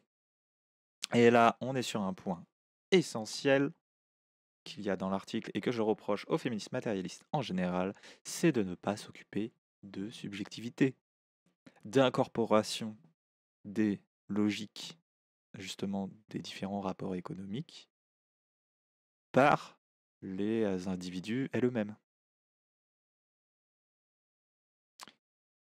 Certes, nous avons différents coups près dans l'exploitation du travail, de la domination et choses comme ça. Mais par exemple, comment penser, bah même ce que des marxistes du front pourraient parler de fausse conscience. Qu'est-ce qui fait que les ouvriers ne se révoltent pas? Qu'est-ce qui fait que les femmes restent hétéros, en couple hétéro, et se font exploiter dans leur travail? Alors que pourtant, bah oui. Et en gros, le truc, c'est de dire, nous ne pouvons pas que révéler les mécanismes qui produisent, enfin les mécanismes de domination et d'exploitation du travail. Parce qu'en fait, bah, typiquement, ça fait 40 ans qu'on les a révélés. Ou Marx, ça fait, c'était les 150 ans du capital il y a quelques années. 3 ans, je crois. 1870 Je sais plus. Bah, la preuve que ça, enfin, suffit pas en fait de révéler. Il manque quelque chose. Il manque quelque chose et c'est aussi pour ça que j'ai envie de travailler sur un mémoire sur la question de l'imaginaire et de l'idéologie et notamment en faisant référence à Spinoza. Parce que j'aime beaucoup Spinoza, vous voyez. Notamment parce que Spinoza montre que il ne suffit pas d'avoir conscience de la vérité d'une chose pour que ça nous active dans ce pour que ça nous fasse aller vers le vrai. En gros, il reprend un passage d'Ovide, il me semble. Enfin, il me semble. C'est quelqu'un qui disait que c'était Ovide. Je j'aime pas la littérature en général et encore moins la littérature grecque. Ovide était grec, j'espère, ou latine, bref, de l'Antiquité occidentale. Euh, qui reprend le mot d'Ovide et qui, euh, est aussi très utilisé euh, dans les religions en général, notamment chez les chrétiens. C'est je vois le meilleur, je l'approuve, mais je fais le pire. Ou c'est comme quand vous procrastinez ou quand vous faites n'importe quoi, vous vous dites c'est ça que je devrais faire, mais pourtant vous ne le faites pas. Moi je fume des clopes, je sais que ça apporte la maladie, le cancer, le truc comme ça, mais je le fais pas. Mais je, ne m'arrête pas de fumer pour autant. Parce que la question c'est pas de savoir. Donc c'est pour ça que c'est intéressant les questions de la culture, de comment euh, ce qui nous affecte Qu'est-ce qui a trait à notre subjectivité? Moi, je suis parti dans des grandes considérations euh, sur cette question, pardon. Et je vais rediminuer un poil la luminosité. Puff, puff, puff.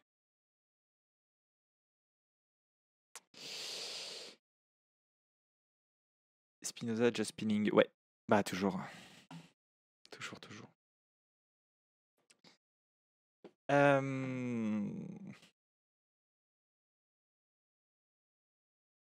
Donc dans le développement de la conscience et la transformation de la subjectivité.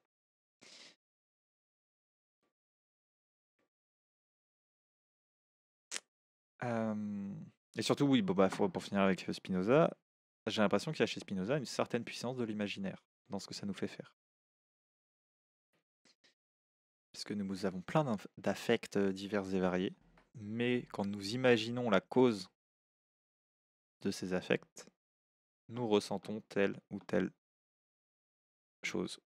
Et nous nous activons de telle ou telle manière. Bref.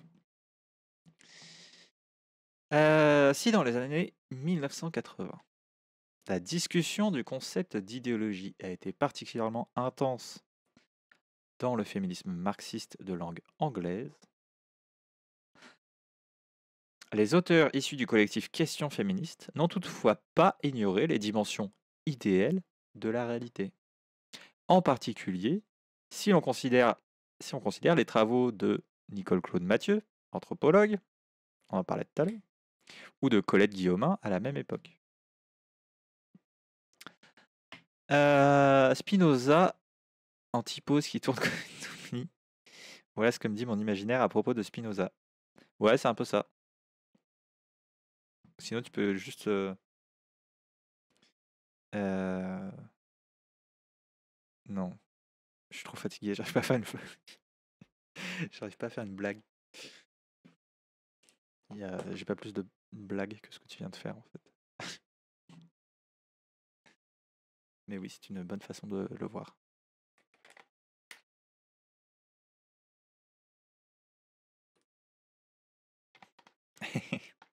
Mais non, Personne peut tester Spinoza.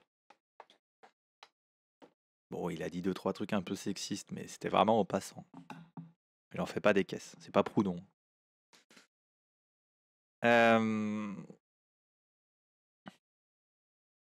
On peut en revanche s'interroger sur l'insistance, l'insistance au sein de travaux qui se réclament aujourd'hui du féminisme matérialisme à soutenir une seule modalité d'articulation des rapports entre le matériel et l'idéal.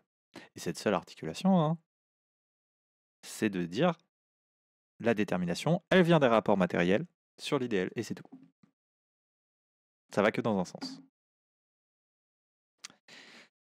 Et sur la, et sur la réticence à considérer que l'idéologie peut jouer un rôle déterminant dans certaines conjonctures historiques ou dans certaines configurations sociales.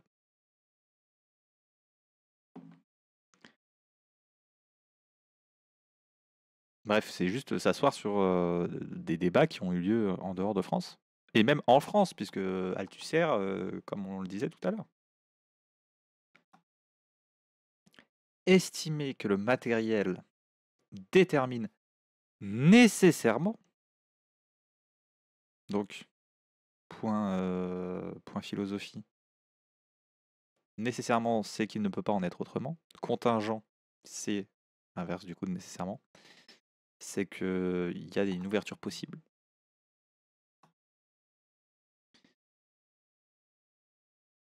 Ou ça peut arriver par accident. On va dire comme ça. Estimer que le matériel détermine nécessairement l'idéal confine à l'essentialisme.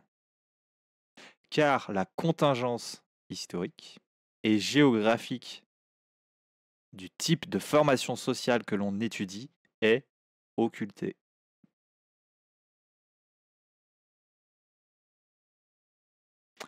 En gros, là, ils viennent de se faire traiter d'essentialistes. Pour des matérialistes qui ne pensent le monde par historicité. Là, Servu l'éclair viennent de leur dire bah non en fait. Si vous ne prenez que le matériel et donc l'économique qu'en considération, Et donc, par exemple, sans prendre en considération les questions politiques, comment les gens se gouvernent ou sont gouvernés, des choses comme ça, qui sont des contingences historiques particulières, qui ont un impact sur le monde économique. Le rapport à la propriété, ça a forcément à voir avec l'organisation politique. Ou alors, serait de dire que la enfin, c'est limite de dire que la propriété, c'est naturel. Potentiellement, on sait, enfin, on comprend bien que le capitalisme sans État, ça n'est, c'est pas possible.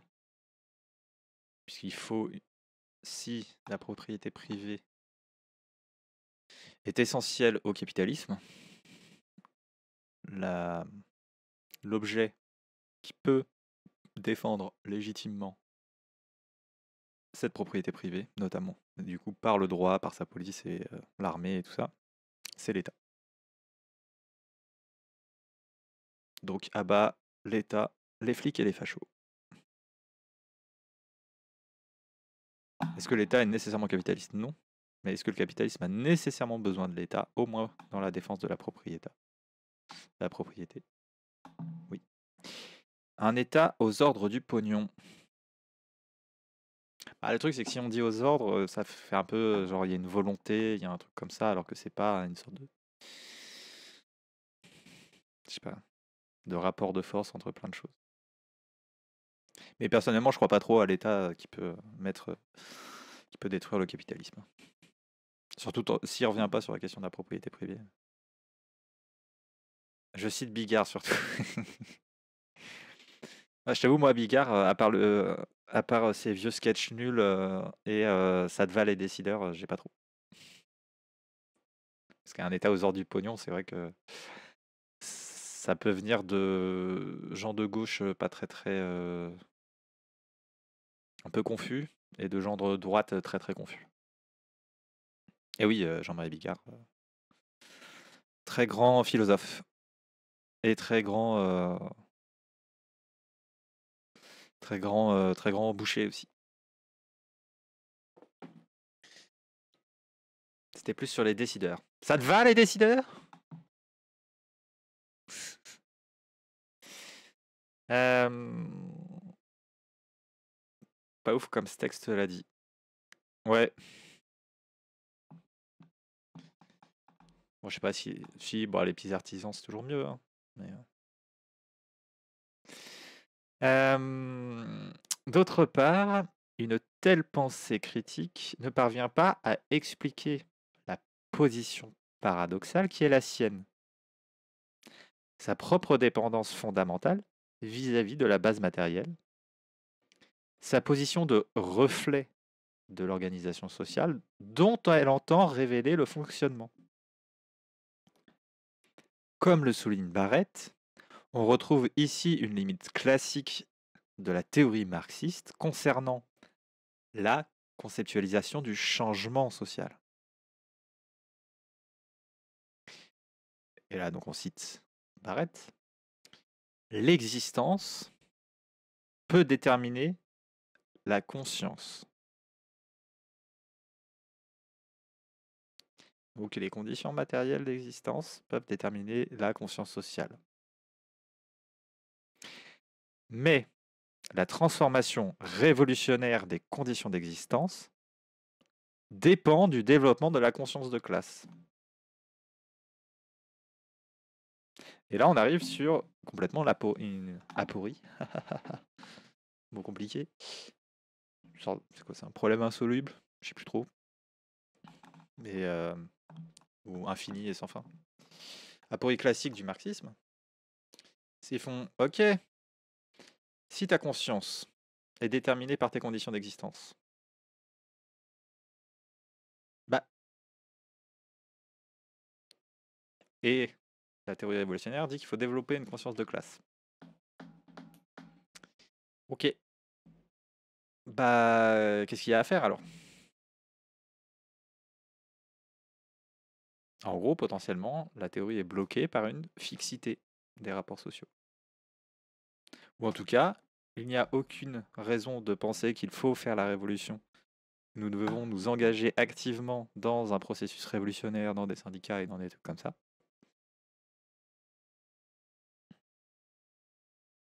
Puisque, de toute façon, la conscience est nécessairement déterminée par les conditions sociales d'existence. Donc il n'y a pas de conscience de classe à avoir. Il n'y a pas de conscience de classe à développer. Il n'y a pas de, de trucs comme ça.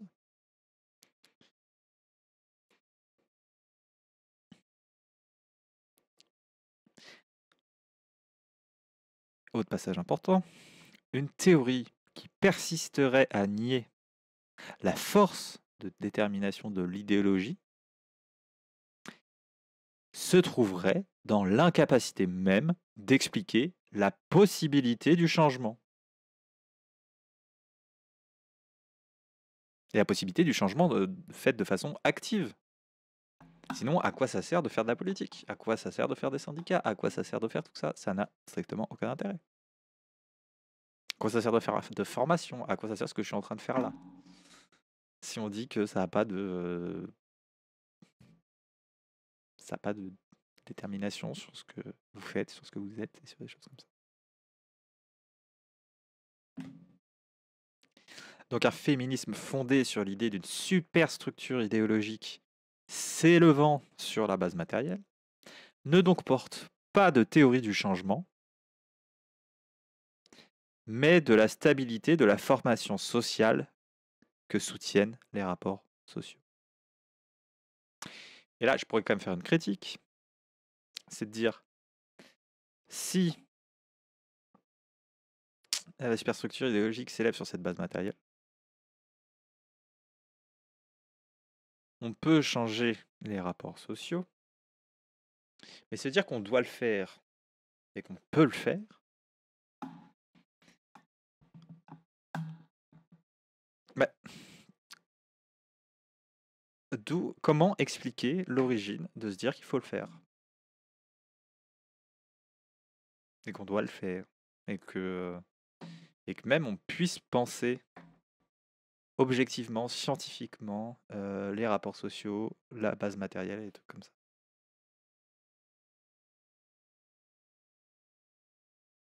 On ne peut pas dire qu'il y a une seule structure idéologique il y a une production de structures idéologiques concurrentes au sein de rapports sociaux. Et si il y a des productions d'idéologies différentes, c'est que les rapports sociaux ne déterminent pas.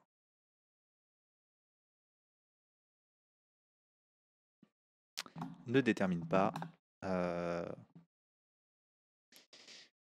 nécessairement les, euh, nos euh, structures idéologiques, notre pensée, notre conscience.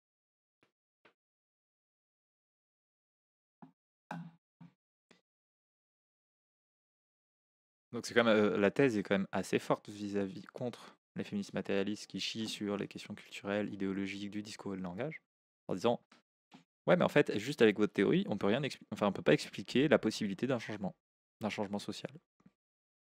Si vous dites que ça la position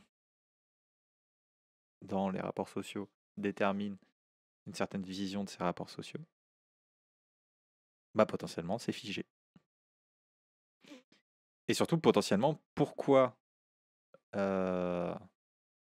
les prolos, par exemple, n'auraient pas une conscience de classe de leur propre domination? Pourquoi, dans un certain sens, ils acceptent, dans un certain sens, évidemment, ils acceptent aussi d'être exploités. Pourquoi les femmes acceptent d'être exploitées? Il y a plein de choses, dont un rapport à l'idéologie.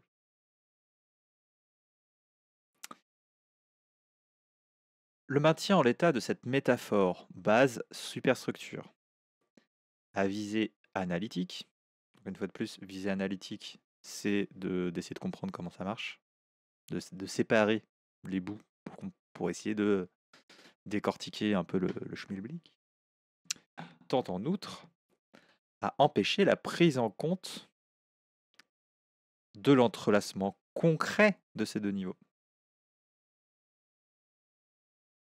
Et ça, c'est intéressant. C'est que si on ne met pas assez sur le côté le fait que nous distinguons la base et la superstructure, mais que pour l'exercice de mieux les analyser, mais que en vrai c'est plus compliqué que ça, eh ben on, peut se perdre justement dans cette optique matérialiste en disant Ah mais euh, moi ce que j'étudie, euh, c'est ça le vrai et le concret. Et c'est ça qui détermine l'autre. Parce qu'on a perdu un peu de vue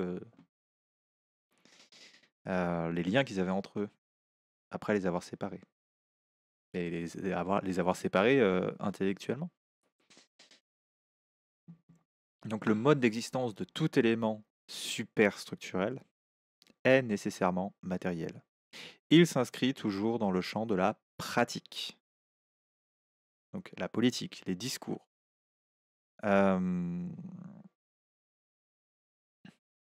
des pratiques culturelles en général. Ça s'inscrit dans les rapports matériels.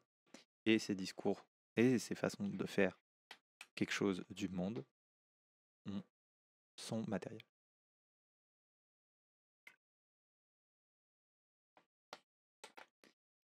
Ainsi, recourir à la notion de matérialité comme ce qui excède le discours, qui est hors de lui, confère à la matérialité une sorte de dimension métaphysique.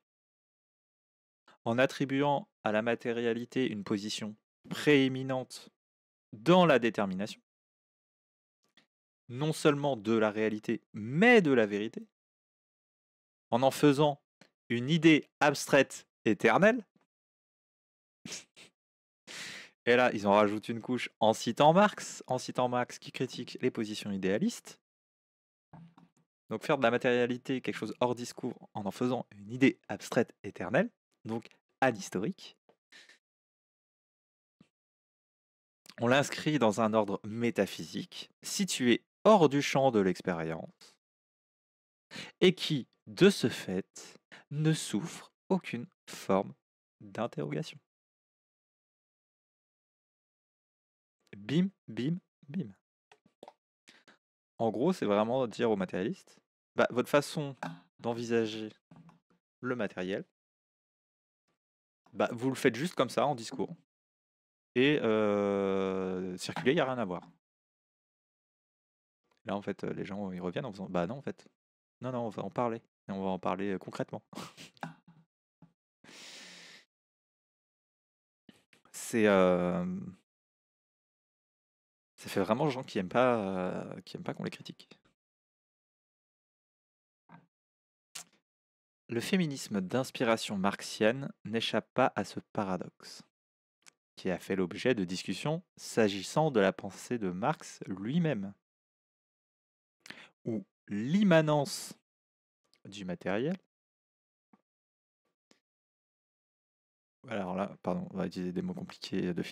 l'immanence du matériel cohabite avec une conception transcendantale de la matérialité,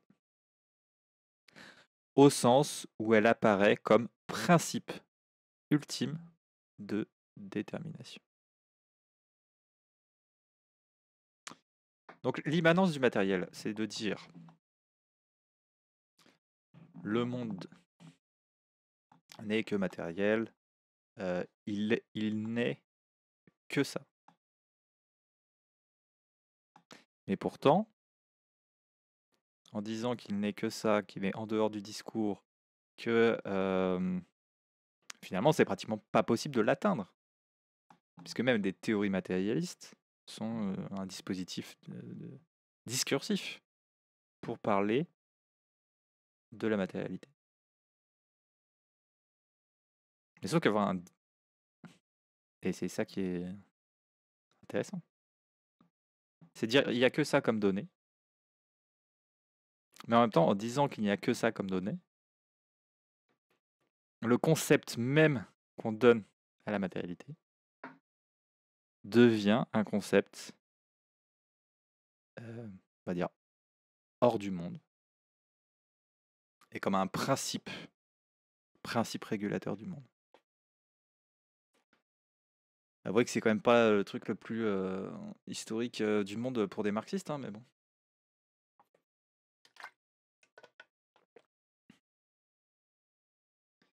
Bref, on va pas en faire des caisses déjà parce que je suis un peu. Bon, là, c'est un peu plus mon dada, euh, normalement, la manance transcendantale et tout, mais en vrai, ça va être chiant si je m'attarde dessus.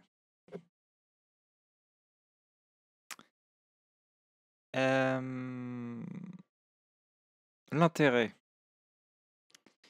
de l'approche post-structuraliste. Est-ce qu'il y a encore des gens, en fait, parce que ça se trouve, je suis en train de parler dans le vide. Est-ce que, euh, vous comprenez tout? Est-ce que je dois m'arrêter sur certaines choses euh, ou autres euh? Non, non, il n'y a plus personne. non, non, non, non, c'est pas chiant. Par contre, je piche pas tout, mais ça détend. Ok. Mais n'hésite pas, hein, si. Enfin, on est, enfin, on est là pour ça aussi. C'est l'intérêt aussi de le faire en live. C'est comme ça. Peut-être parce que t'attendais. Bah, je m'en fous. Hein. Je pose une question, vous y répondez comme vous le souhaitez. Hein. De toute façon, même si tu me dis que ça te détend de m'écouter, ça me va. Mais sinon, si s'il y a un truc que tu piches pas et que tu veux, je préfère écouter mais pas ralentir le cours. Mais non, je veux pas juste faire la prof. Enfin, j'aime bien quand même, mais je veux pas faire juste ça. Vraiment, si t'as des, des questions à poser, pose-les sans lever la main, sans que je te donne la parole, t'inquiète. Hein.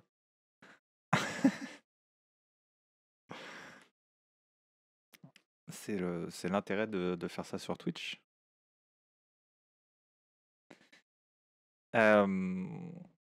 Enfin, je pense. Enfin, après, si tu veux pas poser de questions, il n'y a, pas de souci. Il te manque des bases. Ok, ça marche. Bah, tu peux. Pas de souci. Tu peux, je peux essayer de. Ah, le matérialisme. Oh putain. ok, on va essayer de faire assez court. Parce que. Parce que j'en parle tout le temps. j'en parle tout le temps, notamment dans cet article et dans. Et en fait, dans pratiquement tous mes lives précédents. Alors, c'est Le matérialisme, et notamment le matérialisme au sens... Euh non, mais je vais faire vite. Même pour moi, en fait, hein, c'est euh, même pour moi, c'est un exercice important de savoir résumer une pensée relativement complexe en, euh, en, pas trop de temps. Donc, non, non, t'inquiète. T'inquiète, je suis, je suis une grande personne autonome et qui sait dire non, qui sait dire non quand elle a pas envie de faire quelque chose. Donc là, je le fais de, je le fais de bon cœur. le matérialisme, donc au sens de Marx, c'est une certaine analyse du monde social et notamment de l'histoire d'une histoire qui avance. Par non pas comme chez Hegel philosophe juste avant Marx mais dont Marx a beaucoup aimé la pensée jusqu'à qu'il la retourne un peu que ce n'est pas les idées justement, éternelle et abstraite, qui se réalisent dans le monde et qui ne sont que toujours une certaine réalisation de ces idées dans le monde, notamment chez Hegel de la liberté. Donc ce seraient les idées qui détermineraient, qui vont déterminer le monde à aller dans un certain sens. Le matérialisme, c'est dire non, ce sont des êtres pas forcément humains, mais des êtres qui sont déjà dans le monde, qui sont le, enfin, qui sont le produit du monde de certaines déterminations, et qui vont dans une certaine direction déterminée euh, en, fonction de, euh, en fonction du rapport qu'ils ont aux autres euh, êtres dans le monde. En gros, si on prend, pas, un bouchon qui flotte sur l'eau. Bah, si on regarde que à travers le bouchon lui-même, et en plus ce bouchon se dit qu'il est... Là ça va faire un peu Spinoza, mais euh, pour les personnes qui connaissent ce truc, c'est pas avec un bouchon, c'est avec une pierre qui roule. Mais on va faire un peu... C'est marrant avec le bouchon parce qu'on vous voit un peu la mer comme des rapports sociaux. Si on prend, si on enlève Enfin, si on ne voit pas la, flotte qui fait bouger ce bouchon, on pourrait dire que l'origine du mouvement du bouchon, il, vient de lui-même. Ou, euh, je sais pas, d'un esprit, d'une force particulière. Mais l'intérêt du matérialisme, c'est d'essayer de comprendre le mouvement du bouchon en regardant justement l'eau qui est à côté, donc le monde social, qui détermine le bouchon à se déplacer de cette façon-là. Ça, c'est pour le côté très philosophique du matérialisme, au sens euh, matérialisme euh, du monde social qui, et qui détermine euh, à agir d'une certaine façon. Et pour, encore plus pour Marx, ce monde social et cette réalité matérielle sont les modes de production. C'est-à-dire le capitalisme, le féodalisme, l'esclavagisme, où à chaque fois deux classes sont en lutte, une pour exploiter l'autre et l'autre pour pas être exploité par l'une.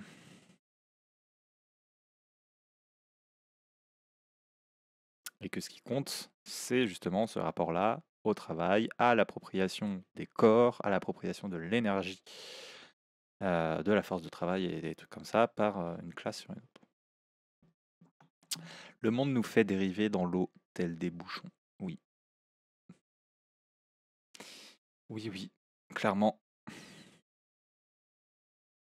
Mais ce qui est important, c'est d'essayer de comprendre comment l'eau bouge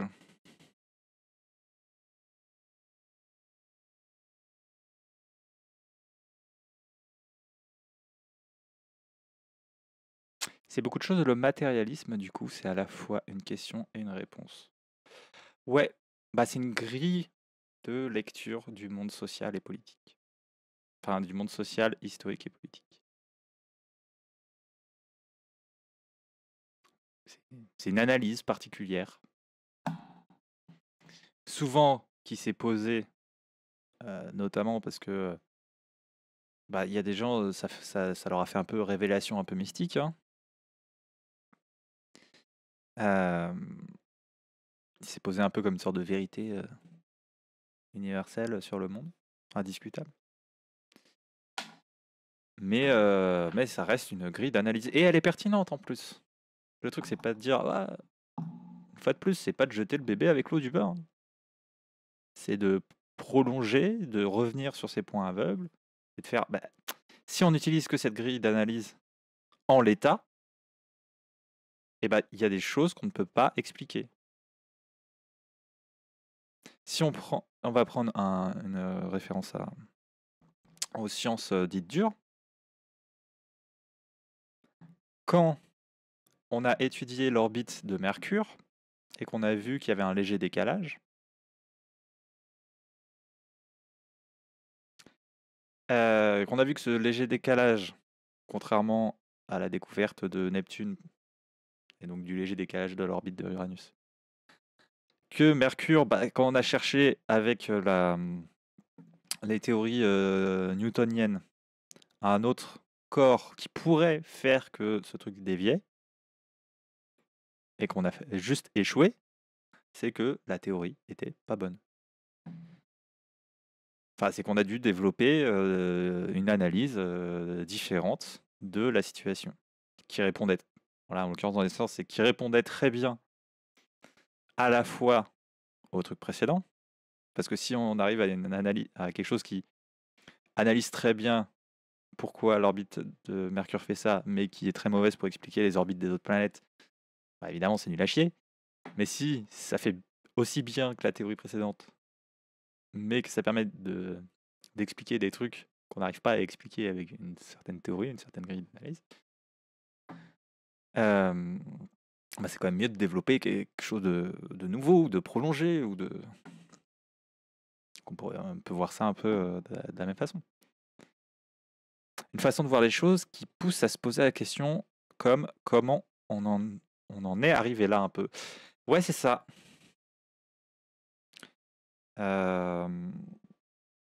Y a une grande, c'est beaucoup de la philosophie de l'histoire, Marx et c'est notamment de dire que les choses sont pas figées. Mais, comme on l'a vu tout à l'heure, c'est, heu hem même si on peut le dire un peu en soi, c'est pas figé, c'est un rapport à l'histoire, au progrès et comment ça peut changer. Il y a au sein de la théorie marxiste notamment quand ils prennent pas en compte la possible détermination de l'idéologie donc l'idéologie, c'est, heu, la culture, le système politique et des choses comme ça, hein. La superstructure, comme on dit. Si on prend pas en compte le fait que ça aussi, ça peut déterminer bah, le monde économique bah, on loupe des choses et il y a des il choses qu'on n'arrive pas à expliquer ou alors faut faire des contorsions comme pas possible pour faire, pour expliquer ces choses-là et salut Romsy Romsito! Comment tu vas? J'espère que ça va bien et j'espère que Godzilla, heu j'ai répondu à peu près à ta question. Ça va mal. Pourquoi? Qu'est-ce qui se passe? Cool Godzilla. Bah, je suis contente. Je suis contente que tu aies compris.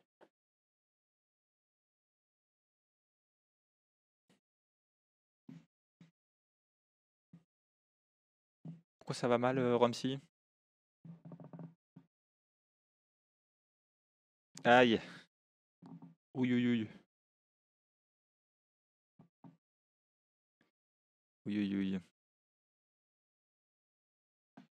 Et bah, mmh bah, déso bah, désolé, ouais, ça doit être, heu, ça doit être complicado, heu, comme, hem, comme nouvelle. Bah, après ici, ça va être, on va quand même, continuer le live. Je sais pas si ça peut te faire penser à autre chose, si ça peut te faire aller mieux. J'espère ou sinon hésite pas à je sais pas, à en parler à des à des gens qui te sont proches et d'être, soutenu puisque tu as le droit, tu veux juste penser à autre chose? Et bah, parfait parce qu'ici on va penser à plein de trucs. Et on va faire turbiner son cerveau. Et bah, j'espère que ça t'aidera.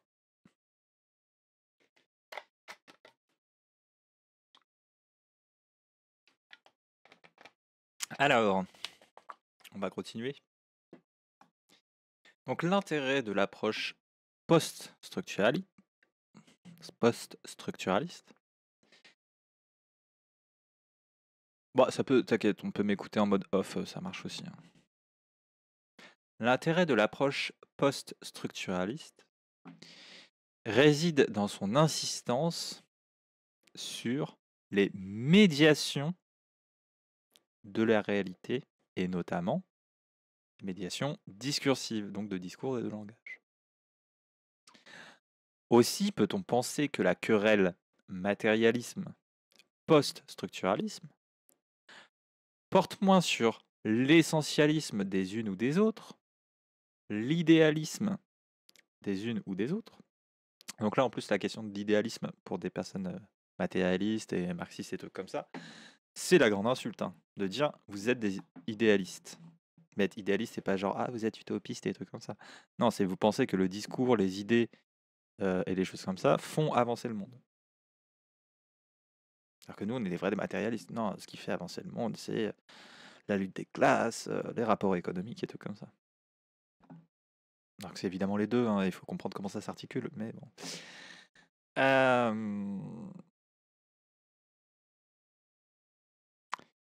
Donc l'idéalisme des unes et des autres. Parmi certaines des catégories ordinaires, Putain, j'aime bien. Parmi certaines des catégories ordinaires de disqualification à l'œuvre dans la recherche féministe, que sur des types différents de constructivisme. J'allais faire un truc sur euh, le constructivisme, mais en fait, la suite va en parler. Et au pire, euh, j'affinerai ce qui est dit. La typologie. Donc, euh, potentiellement, c'est un peu comme la taxonomie euh, en biologie ou en chose comme ça, c'est de répertorier et de catégoriser des espèces. Voilà, des types. Euh, la typologie des constructivismes, c'est essayer de comprendre. Ok, ça fait partie du grand ensemble constructivisme, mais est-ce qu'il y en a des différents et comment les comment trouver ce qu'elle- ce qu'ils ont de particulier? Donc la typologie des constructivismes proposée par Rasmin euh, Kecheyan, bon, je ne sais pas du tout comment le prononcer, est ici utile? Elle distingue notamment le sujet de la construction, qui peut être social ou non social, incluant par exemple, comme chez Bruno Latour, des actants non humains. Donc qui distingue le sujet de la construction et l'objet de la construction, qui peut concerner la réalité sociale ou la réalité matérielle. Les perspectives identifiées dans le débat comme relevant du féminisme matérialiste ou du post-structuralisme s'accordent jusqu'à un certain point sur le sujet de la construction. Si les premiers écrits féministes post-structuralistes dans les années 80 soulignent un processus social de construction, donc construction du genre, du système de genre, euh, tout ça, et le langage apparaissant comme un acteur central, certains écrits récents qui se présentent comme néo-matérialistes, tout en émergeant de l'espace conceptuel du post-structuralisme féministe, insistent de leur côté sur un processus à la fois social et non social. La complexité de la matière physique ou des organismes biologiques étant ramenée au premier plan. Euh, oui, d'ailleurs, c'est des néo-matérialistes, euh, néo-essentialistes surtout, je trouve, mais bon, ça n'a rien à voir avec euh, un matérialisme marxiste. C'est en particulier c'est en particulier en faveur de la prise en compte de l'entrelacement du social et du non social par le constructivisme féministe que plaide l'article de Samantha Frost dans ce numéro. Oui, ça parle beaucoup de trucs de, dans ce numéro, parce que c'est un article de revue déjà, et secondement parce que c'est le premier article slash édito. Euh,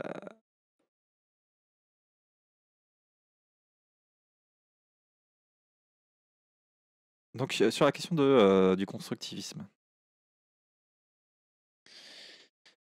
C'est que, bah, on l'a vu, bon pas aujourd'hui, mais on l'a vu chez Delphi.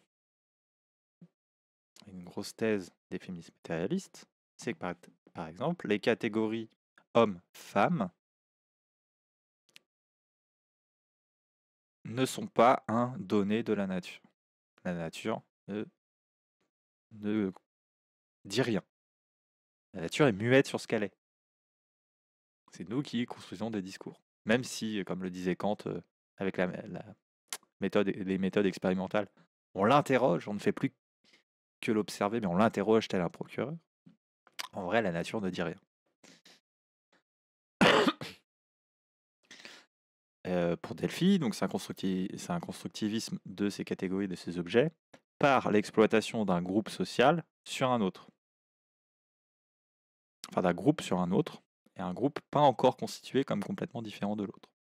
Mais c'est par la mise en exploitation, par la hiérarchie qui se crée, qu'on produit deux groupes absolument distincts qui doivent faire ces tâches distinctes. Donc les femmes sont là pour être exploitées, les hommes pour exploiter. Mais les théories post et donc c'est un constructivisme du genre, des catégories de sexe, radical. C'est-à-dire, il n'existe rien tel que la différence des sexes dans la nature. En tout cas, rien qui a le pouvoir d'expliquer les hiérarchies sociales actuelles. Parce qu'on n'explique pas du social par du biologique. Sinon, c'est du réductionnisme. Hein. Réductionnisme biologique plutôt qu'économique, mais biologique. Mais ce que les gens aiment bien faire. Déjà parce qu'ils s'y connaissent pas assez en biologie. Et puis surtout, ils peuvent faire. Euh, peuvent appeler nature pour pas dire Dieu. Hein. En général, ce sont les mêmes.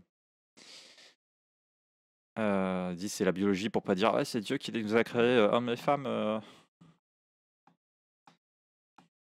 C'est un prétexte d'utiliser la biologie. En vrai, ils, ils y connaissent rien en biologie. Bon, après, il y en a qui s'y connaissent en biologie, mais qui, sont nazes aussi, hein, parce qu'ils ne s'interrogent pas sur les concepts et les catégories euh, utilisées en biologie. La colère du Seigneur va s'abattre sur la France. Oui. Oui, je pense euh, qu'il faut aller au puits du fou euh, et faire un grand feu de joie pour apaiser la colère de Dieu. et les post-structuralistes, notamment, bah, je sais pas, genre Judith Butler, dit qu'il n'y a pas quelque chose comme une identité de genre. il n'y a pas une substance qui dit quelque chose et qui est indépassable et inchangé dans tous les êtres humains. Elle dit que ce qui produit le genre, c'est sa performativité. Ce sont des individus pris dans un certain monde social qui font des actes font des actes répétés et stylisés que l'on associe à un certain groupe. Par exemple, euh, avoir les cheveux longs, mettre du make-up, euh, mettre telle fringue, telle fringue. Et on est reconnu par les autres par l'idée de ce que nous faisons, de ce qu'est être un homme et une femme. Donc voilà, blablabla. Euh, c'est que du social aussi. Ça n'existe pas. Et donc les deux approches sont un constructivisme radical. C'est-à-dire qu'à aucun moment, il y a l'idée de prendre depuis un monde matériel, mais là au sens physique, euh, de dire que c'est à partir de ce monde physique qu'il y a euh, des différences. Mais nous construisons les différences d'une autre façon. Fois plus, nous les construisons. Voilà. On va continuer. C'est cependant au niveau de l'objet de la construction que l'on peut penser que la rupture entre les deux approches, matérialistes et post-structuralistes, est avant tout consommée. La première postule surtout la construction de la réalité sociale. D'où le statut équivoque qu'elle attribue à la matérialité en la constituant à la fois en objet, donc on crée l'objet et la catégorie de la réalité sociale que sont des rapports qu'entretiennent des euh, êtres entre eux, et en principe explicatif. Donc on produit cet objet qui est la réalité sociale et on dit que c'est la réalité sociale qui explique en plus ce truc. Tandis que la seconde, post-structuraliste, considère le caractère construit de la réalité matérielle, d'où le fait que la matière des corps n'échappe pas à ce processus. C'est ici sans doute que les chemins de Butler et de Wittig se séparent. La langue par laquelle la société parle à travers nous engendre du social chez Wittig, donc des classes de sexe, classes qui n'existent que euh, dominées et exploitées, dans un rapport de domination et d'exploitation. De la matière chez Butler, celle de corps dont la forme même dépend de l'inscription du pouvoir. Donc la forme d'un corps, ses vêtements, blablabla.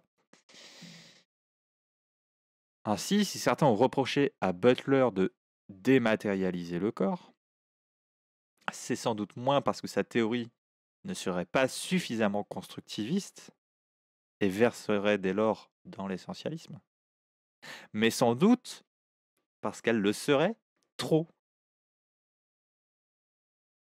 C'est-à-dire que même si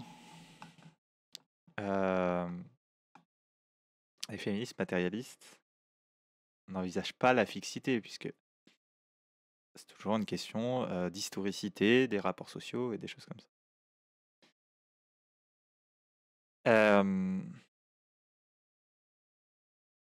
Il y a quand même quelque chose de l'ordre de...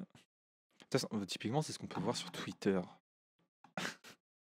Désolé, on va sortir de, du côté universitaire pour s'en aller sur Twitter ou des matérialismes, matérialistes claqués du cul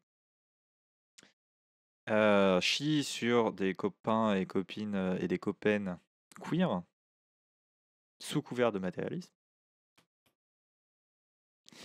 Je sais pas du tout où je vais là-dessus. Oui, en disant c'est comme ça, et la réalité du monde social, elle est comme ça. Donc, la seule analyse que tu peux en faire, c'est celle-ci.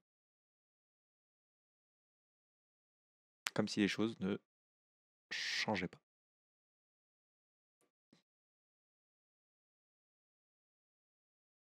Bref, là, je suis en train de me perdre.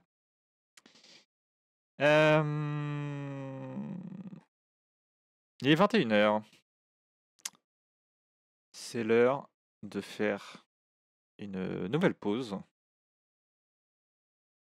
Euh, petite pause clope. Il nous reste 5 pages.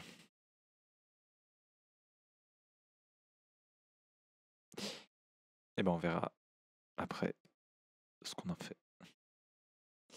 Euh, je vous dis à tout à l'heure. Et je vous mets un peu de musique. On revient, on revient, on revient. Pour la suite de l'article. Hop, hop, hop. Oh putain.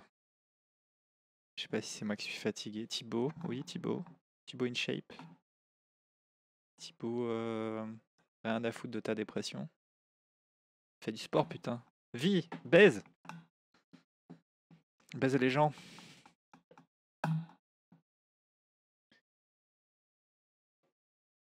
Mais t'as dit Dame.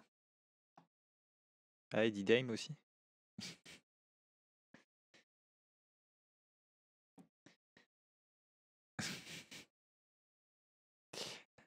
Eh ben on va, on va repartir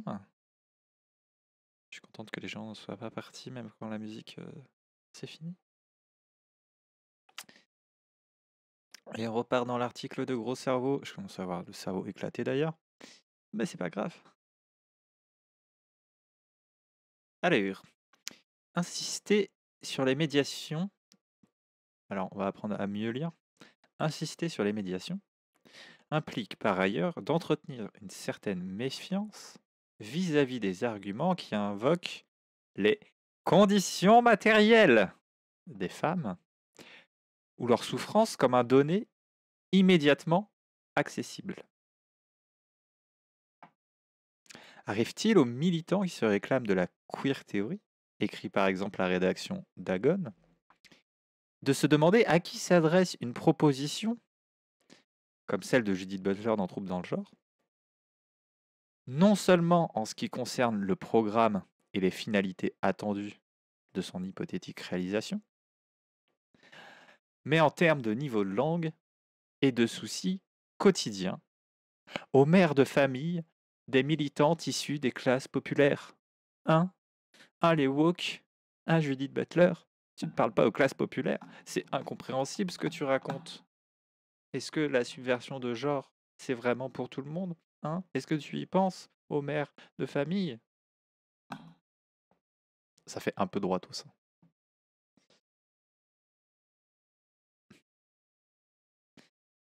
Dit-il alors que eux font la même? Bah oui, c'est vrai que le marxisme et le matérialisme, c'est hyper accessible. Yep. Bravo les champions.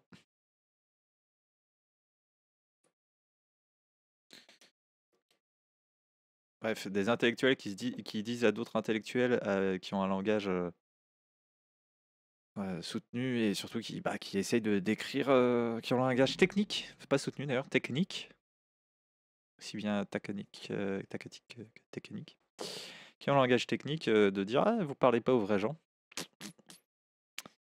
Le fromage, l'hôpital, Charité, Camembert, Roquefort, quoi. Vous-même, vous savez.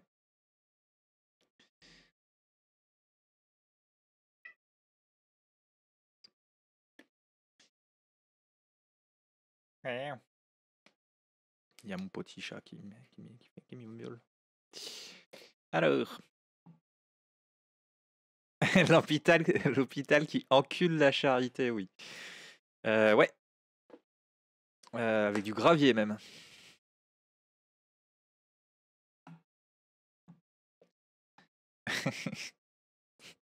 C'est l'hôpital qui encule la charité. Oh les petits chats. Si je l'appelle, elle vient. Vous allez pas beaucoup la voir, vous allez peut-être voir juste ça que. On va, montrer, on va montrer le chat à la caméra. Il est tout noir, donc c'est pas. Pas beaucoup le voir. Bref. Euh...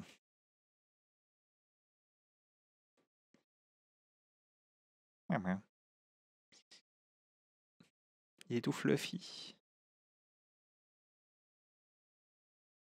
Elle s'appelle Saphir. Elle a 13 ans. Et elle fait pas du tout son âge. Elle paraît beaucoup plus jeune. Euh, bref. Bien qu'il se pare souvent des atours de la radicalité politique, ce type de discours qui feint la possibilité d'une relation directe et transparente à son objet abolit en fait sa propre dimension politique. PTDR, nom de mon ex. Saphir? Du coup, toi, c'est Ruby? Ouah, petit ref. Steven Universe?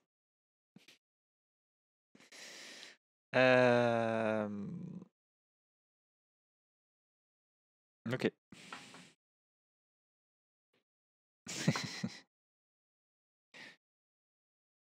euh... Et transparente à son objet abolit en fait sa propre dimension mais on fusionne pas.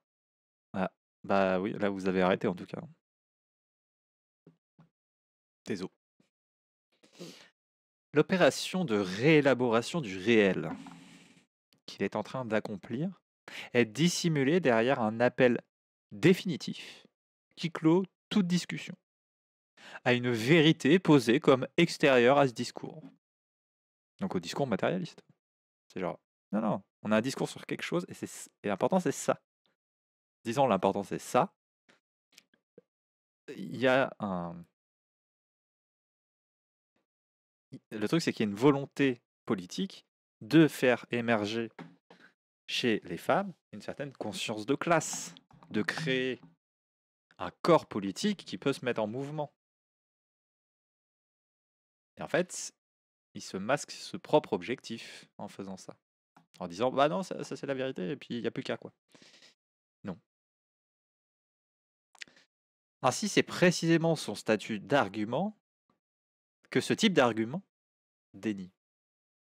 L'enjeu qui pointe ici porte sur la possibilité même d'une objectivité déjà là, extérieurement au procédé discursif qui la constitue.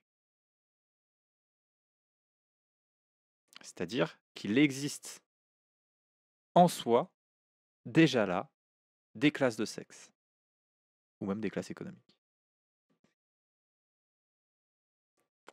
Personne n'a jamais, fait dialoguer vraiment le matérialisme et les théories queer. Désolé si ça dévie un peu, mais ça me paraît fou. Euh, j'ai contacté une autrice qui s'appelle Sophie Noyer qui a fait une thèse sur les deux. Thèse qu'elle n'a pas publiée. Et donc, je lui ai demandé par mail de me l'envoyer parce que ça a l'air très passionnant. J'ai pas eu de. J'ai pas eu de nouvelles. Mais il y a Elsa Dorlin aussi, prof de philo à Paris 8, qui a fait des choses là-dessus.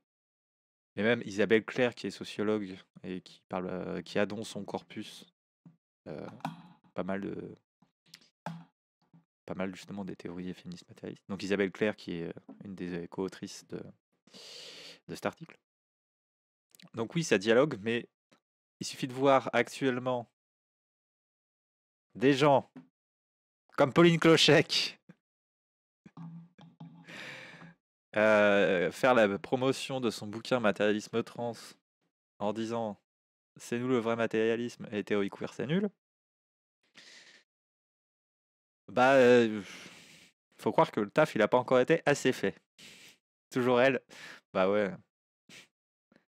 Bah, faut dire, il y a beaucoup qui qui citent matérialisme trans pour être des sous-merdes, que ce soit sur Twitter ou en vrai. Et c'est relou.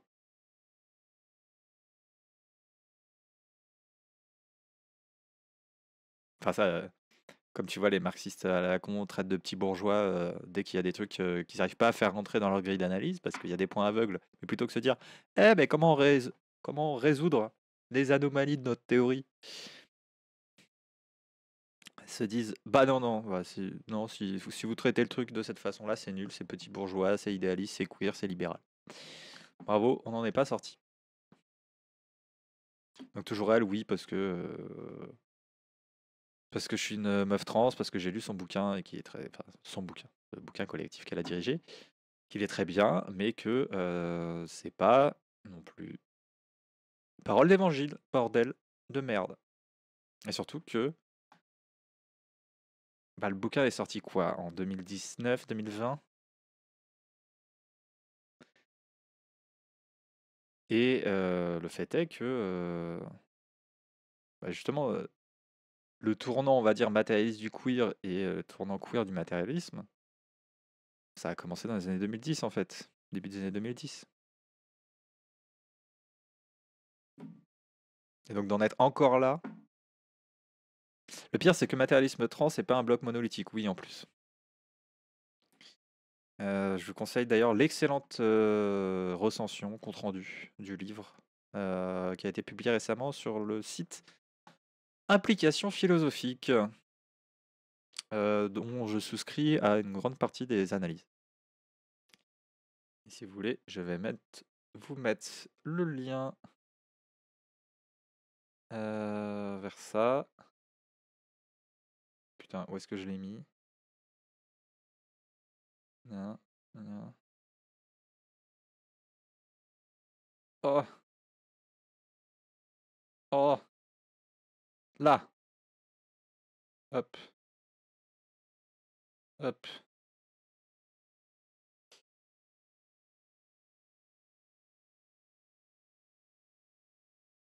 Ah, tu l'as déjà lu. Bon, bah, je l'envoie quand même pour celles et ceux qui l'ont pas lu.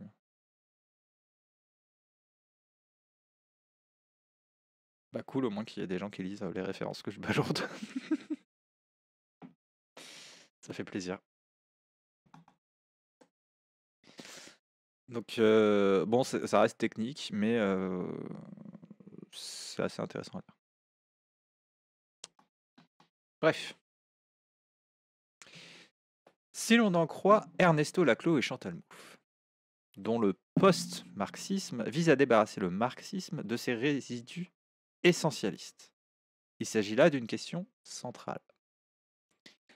Laclos et Mouffe critiquent en particulier la notion d'intérêt objectif qui constitue le fondement du concept de classe.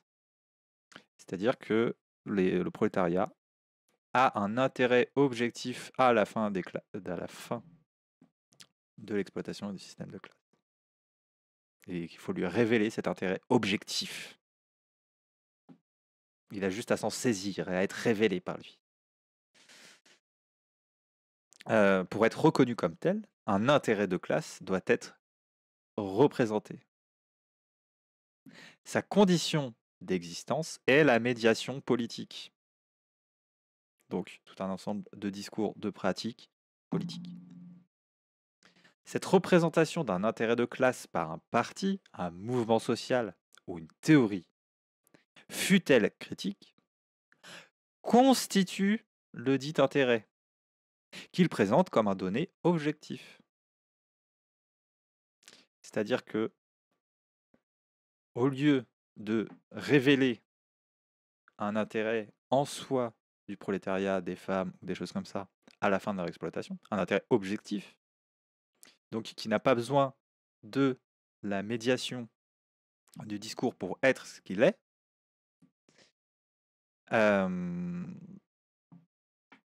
et qui pourrait exister pratiquement sans, enfin, entre guillemets sans nous, parce que on parle d'intérêt de classe d'être humain, donc on va pas les enlever, mais je sais pas à dire que Bref, qui dépend pas, voilà, de qui soit perçu par quelqu'un ou quelque chose, ou exprimé par quelqu'un ou quelque chose. Souvent, un des sens de l'objectivité. Après, il y en a plein, mais souvent c'est sens. Et là, en l'occurrence, c'est pratiquement, c'est pas mal ça.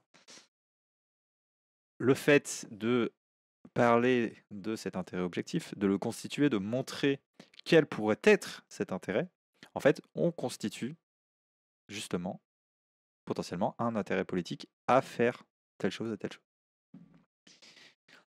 Selon eux, donc la, la l'objectif social, l'objectivité sociale se constitue à travers des actes de pouvoir, ce qui donc revient à dire qu'elle a toujours une dimension politique. Soutenir qu'aucune médiation n'est nécessaire tend à saper, au moins implicitement, la fonction même d'une science critique, celle de construire un antagonisme et de faire émerger une conscience de classe. Pardon, une conscience politique. Ça existe en soi sans avoir besoin d'être mis en lumière par des gens. Oui, c'est ça. Par exemple, euh, on peut poser des questions sur euh, l'objectivité, euh, je sais pas, des nombres. Ou sur l'objectivité de je sais pas, une, planète genre bah, Uranus ou Mercure. C'est-à-dire que s'il n'y avait, pas d'être humain pour penser la planète Uranus ou Mercure, est-ce qu'elle existerait cependant dans le monde physique? Bon, après, c'est un certain discours qu'on a sur le monde physique et sur la réalité du monde en général. Mais de toute façon, dire ça dans le discours, pour en revenir à ça, c'est toujours déjà c'est toujours déjà échoué. Il y a des bons arguments pour dire que oui, mais de, toute façon, on pourra juste le dire dans le discours. Mais après, l'utiliser comme un comme un postulat pour produire des théories scientifiques intéressantes, bah, c'est pas déconnant. Mais du coup, c'est un rapport à la, science qui est tout autre. C'est un rapport instrumental à nos théories et à nos catégories que nous utilisons en science. Mais bon, je ne vais pas dériver vers des pistes mots.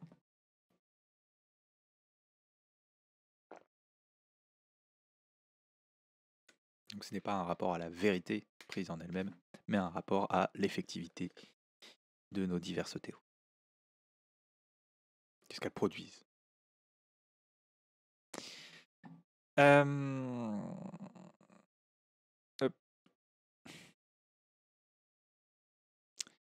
Cette mise en question de la notion d'intérêt objectif.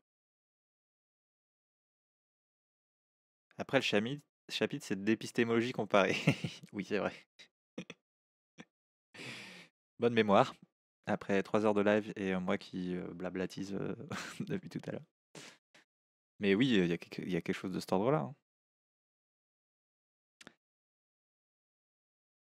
Il y a, en gros, dans le matérialisme, il y a, par rapport à l'épistémo en général, il y a un point de vue réaliste sur l'existence de classes, sur l'existence d'intérêts objectifs de ces classes à faire des choses.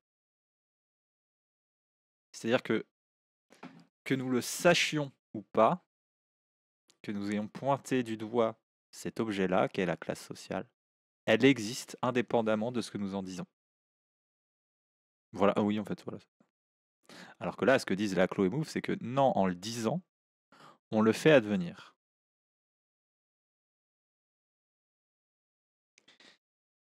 Cette mise en question de la notion d'intérêt objectif a bien entendu un effet sur celle de classe, mais aussi sur celle de classe de sexe, qui pour nombre d'auteurs n'aurait rien perdu de sa centralité épistémologique. Euh, centralité épistémologique, c'est la possibilité qu'a cette catégorie de classe de sexe, par exemple, pour penser les rapports sociaux, le monde social et les choses comme ça. L'apport du féminisme post-structuraliste, en s'attaquant à la catégorie femme, donc confère Butler 2005, donc ça c'est la- l'année de traduction de Troubles dans le genre 1990. Parce que la- le sous-titre de Troubles dans le genre, c'est la subversion de l'identité. Elle revient sur les débats de qu'est-ce qu'est le sujet du féminisme? Est-ce qu'il y a quelque chose comme une catégorie femme?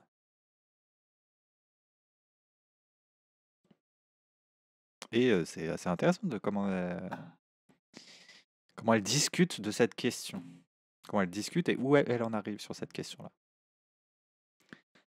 Donc l'apport du féminisme post-structuraliste en s'attaquant à la catégorie femme a été de souligner la nécessité de la considérer comme une pure catégorie analytique et non une catégorie descriptive. Donc une catégorie analytique, c'est-à-dire que nous utilisons la catégorie de femme avec des belles délimitations, des beaux trucs qui permettent de dire ça s'en est, ça s'en est pas. C'est une catégorie qui ne sert qu'à notre propre pensée pour comment dire?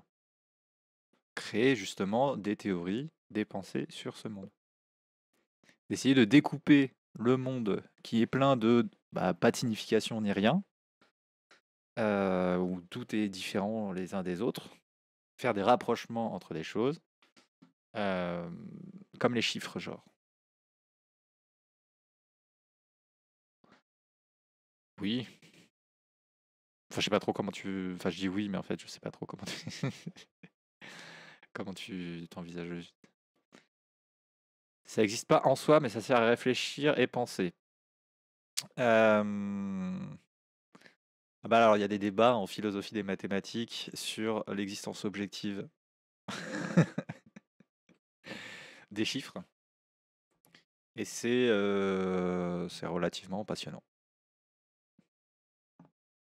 Enfin, passionnant. si, on aime réfléchir à l'objectivité des mathématiques. Ah bon, et oui.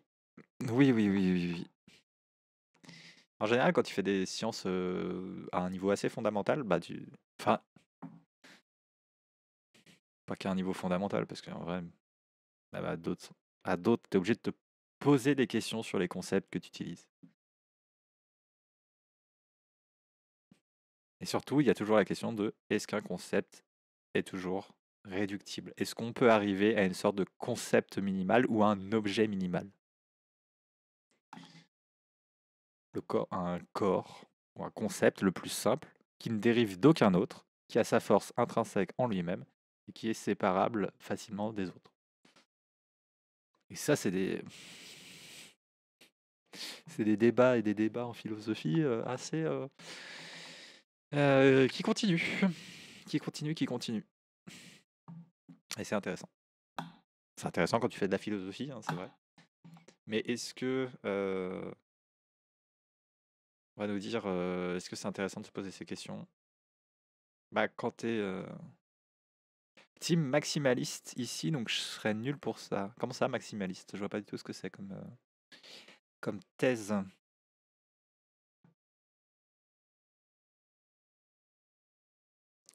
Et donc une catégorie descriptive, ce serait, une, euh, ce serait de dire le monde tel qu'il est réellement.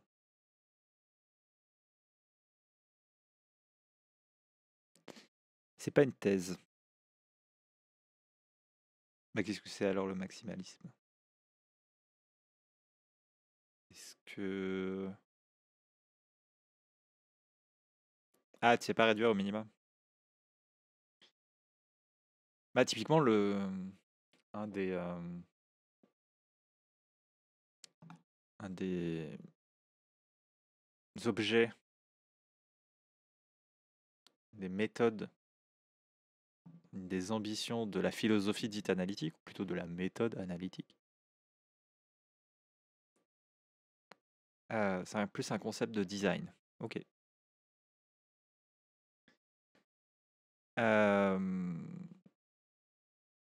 Ah oui, pourtant c'est minimaliste ici. Euh, On aime bien les formes géométriques, les formes pures, si tant est que ça existe. Merde, qu'est-ce que je voulais dire? Catégorie descriptive, le monde, le machin, je sais plus. Oui, tu es complètement impur. Je dirais. Oui, la philo-analytique, merci. Un des objets de la philo-analytique, c'est beaucoup ça en fait. C'est de trouver, de séparer au maximum et de savoir comment s'organisent les relations entre des concepts et des objets les plus simples possibles. Diviser, diviser, diviser, pour après arriver à des trucs. Euh, Donc voilà, l'apport des post-structuralistes, c'était de dire votre catégorie de femme, c'est une catégorie de pensée.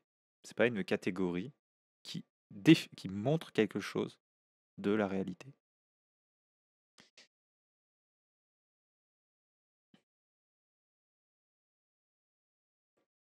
Ce n'est pas par monstration. non, j'ai pas envie de partir dans des trucs comme ça en philo du langage.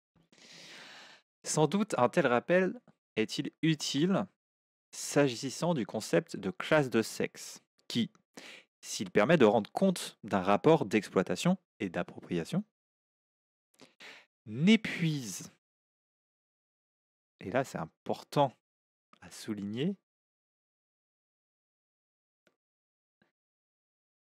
il permet de rendre compte un rapport d'exploitation et d'appropriation, mais le concept de classe de sexe n'épuise pas les manifestations concrètes du genre et les expériences vécues qui lui sont liées.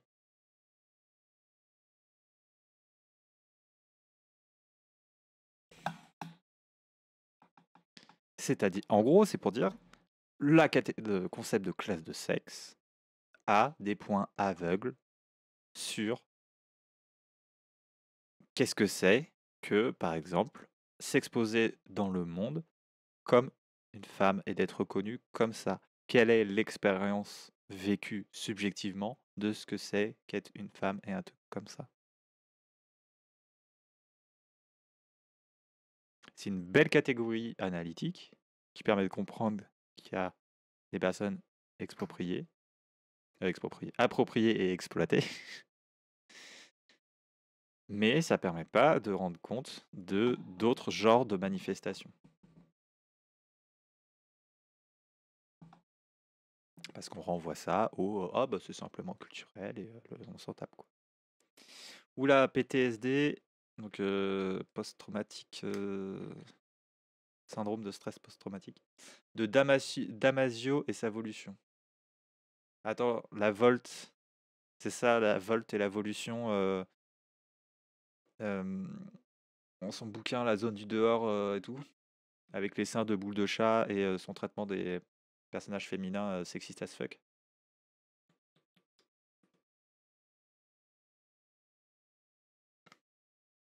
Ou c'est dans un autre.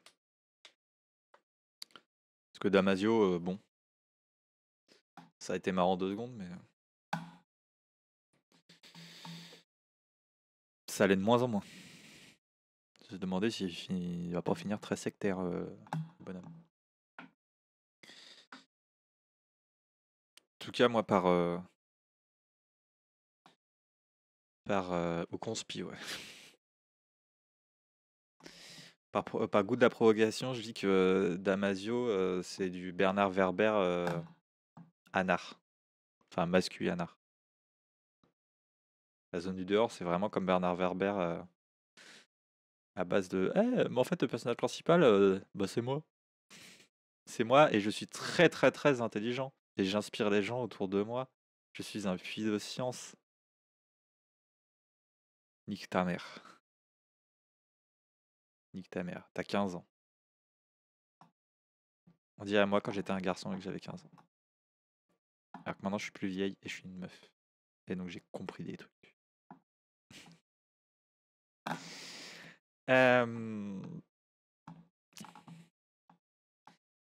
Donc oui, et, et, moi je trouve que c'est ça, c'est ça qui est important, c'est que, enfin, c'est que les analyses matérialistes du genre,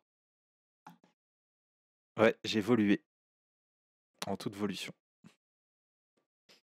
que les analyses matérialistes ne bah, parlent jamais de ces questions-là. Et même plus qu'elles n'en parlent jamais, elles en parlent en disant nos accessoires, on s'en fout.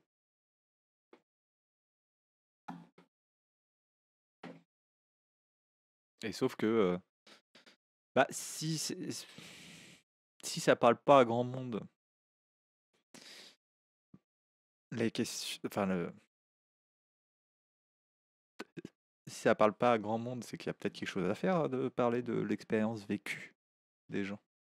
Qu'est-ce qui fait que la performativité il y a de plus en plus de monde qui, utilise le, dire je performe mon genre.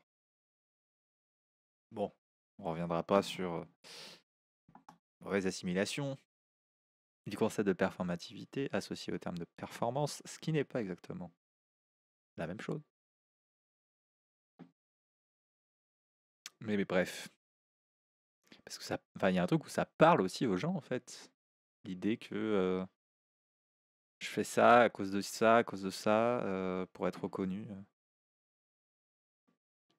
Parce qu'on parle souvent de l'exemple qu'utilise Butler sur les drag, les drag queens à la fin du à la fin de tout dans le genre. Mais ce que montre tout, c'est un, c'est un exemple qui permet d'illustrer toute sa théorie. C'est pas ah les drag queens elles performent, elles font une performance de genre théâtralisée et tout comme ça. Ce que dit Judith Butler, c'est que toutes les personnes sur cette terre, je sais pas, en tout cas en Occident, euh, performent le genre. Un genre, des genres, euh, on s'en fout, mais performent toujours quelque chose. Et c'est par cette, perform cette performance, par ces actes répétés, et parce qu'il y a tout un contexte culturel, matériel, blablabla, qui dit que il faut faire ci, ça, ça, ça, ça, et donc on fait ci, ça, ça, ça, ça, qui fait advenir la reconnaissance des gens dans un genre ou dans un autre. Tu veux pas expliquer vite fait quand même, je comprends si flemme ou trop compliqué. Bah en fait, euh, la performativité, on l'a vu tout à l'heure, c'est euh, le fait que des actes font advenir ce qu'ils énoncent, enfin des discours, mais des actes aussi, hein, font advenir ce qu'ils énoncent, alors que la performance, en fait, il y a quelque chose derrière performance de dire, il y a un masque. Et ce masque cache une vérité. La performativité, à l'inverse, c'est pas dire il y a un masque. C'est-à-dire que nous, faisons des actes répétés et stylisés. Enfin, le seul masque qu'il y a, c'est nous masquons le fait que notre genre est inconsistant. Il n'y a pas de substance de notre genre. Chez Judith Butler, la dichotomie identité de genre, expression de genre, ça ne veut rien dire. En tout cas, telle qu'elle est pensée euh, actuellement. Il n'y a que de l'expression de genre. Il n'y a que des actes. Et, par ces... et le truc, c'est que ces actes, en fait, cristallisent une certaine idée d'une substance genrée qui serait une identité de genre, mais c'est là où est le masque. Clear l'expression qui fait l'identité.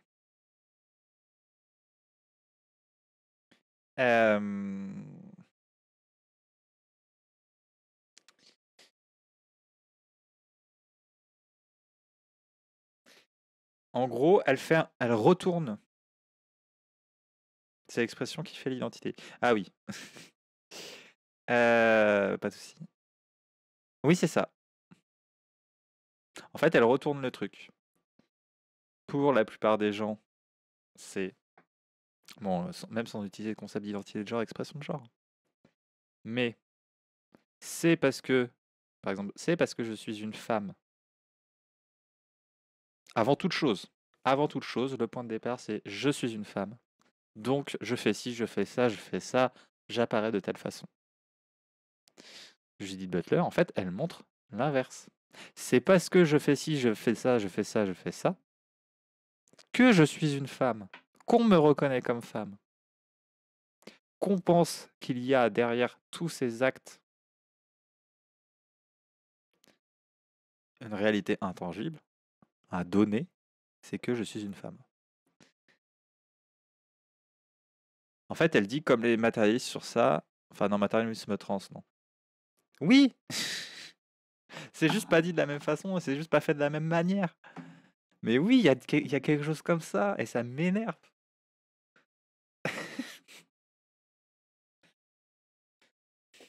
ça m'énerve.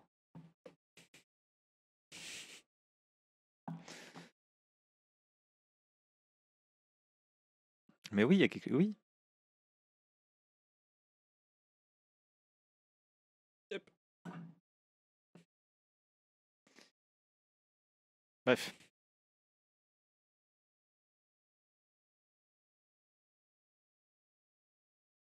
Euh, on continue.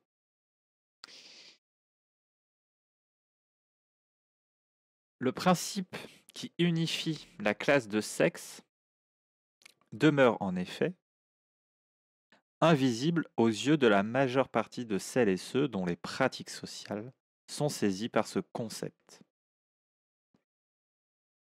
Sinon, on se demande pourquoi existerait, et elle existe, l'étape de la prise de conscience.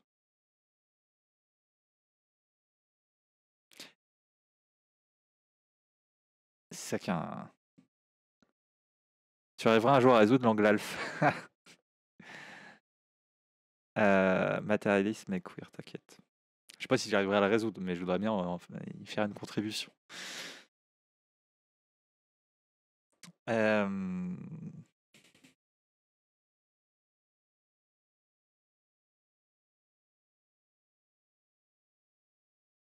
Et oui, et c'est ça, enfin, toute la question de la conscience de classe, la prise de conscience de classe et tout comme ça. Si on suit bêtement et doctement le truc qui dit que la conscience de classe ne vient que de l'économie, des rapports de production et des choses comme ça, alors qu'elle a l'intérêt de faire des partis, qu'elle a l'intérêt de faire des syndicats, qu'elle est important de faire de l'éducation, de, des discours et des trucs comme ça. Il n'y en aurait aucun, puisque c'est pas ça qui modifie la classe sociale. On va dire le syndicalisme un peu plus. Mais euh, et quels sont et, alors on pourrait même revenir à cette euh, question pratiquement première. Qu'est-ce qui ferait qu'une personne puisse commencer à avoir conscience de ça? Qu'est-ce qui fait que Marx puisse commencer à se dire ah non ça marche pas comme ça Si l'idéologie ici, euh, la culture, si les trucs comme ça ont aucun ne peuvent, ne peuvent rien déterminer.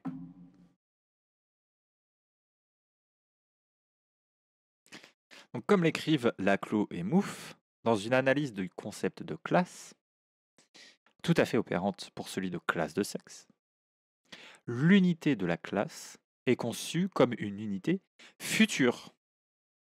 Elle n'est pas déjà là.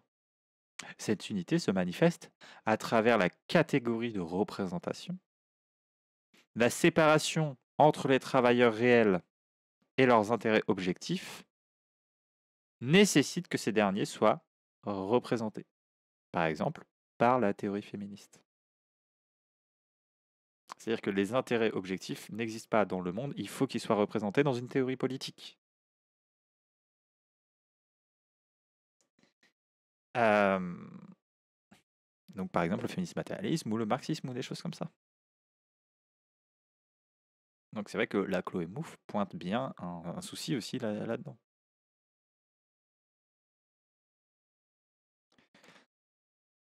Ainsi, lorsque Nicole Claude Mathieu, dans un article à charge contre la théorie queer, contre la théorie queer, souligne les limites que les conditions sociales objectives imposent. Ah putain, je comprends pas la phrase.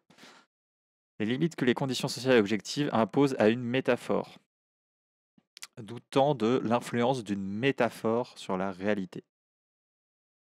Bah oui, sur la question de la performance et tout comme ça. Elle occulte le fait que le concept de classe de sexe lui-même ne peut opérer que comme une métaphore. Il repose sur l'application d'un principe d'analogie à des expériences tout à fait hétérogènes. C'est-à-dire qu'on unifie d'expériences, on va dire, des femmes Et c'est un projet politique de faire ça, d'unifier des existences pour en faire quelque chose. Tout à fait hétérogène. En l'occurrence, le caractère irréductiblement multiple de ce que, par exemple, la catégorie femme recouvre.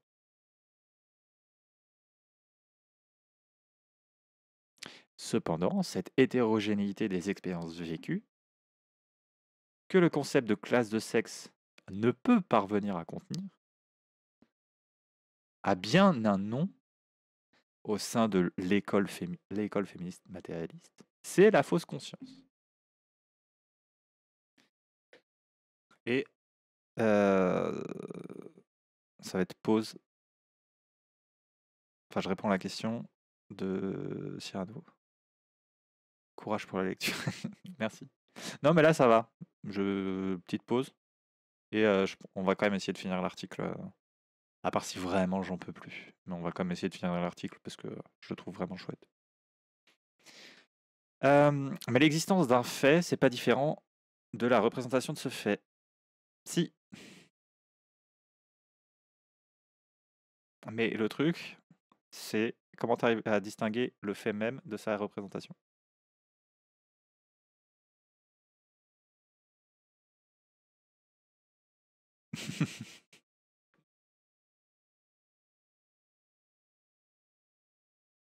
Puisque si tu utilises du langage,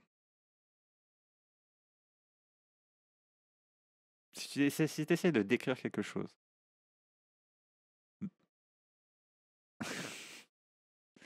tu es déjà en dehors du fait même que tu tends à essayer de pointer. Ça fait réfléchir, vraiment je rigole pas. Oui, bah oui. Alors la philosophie.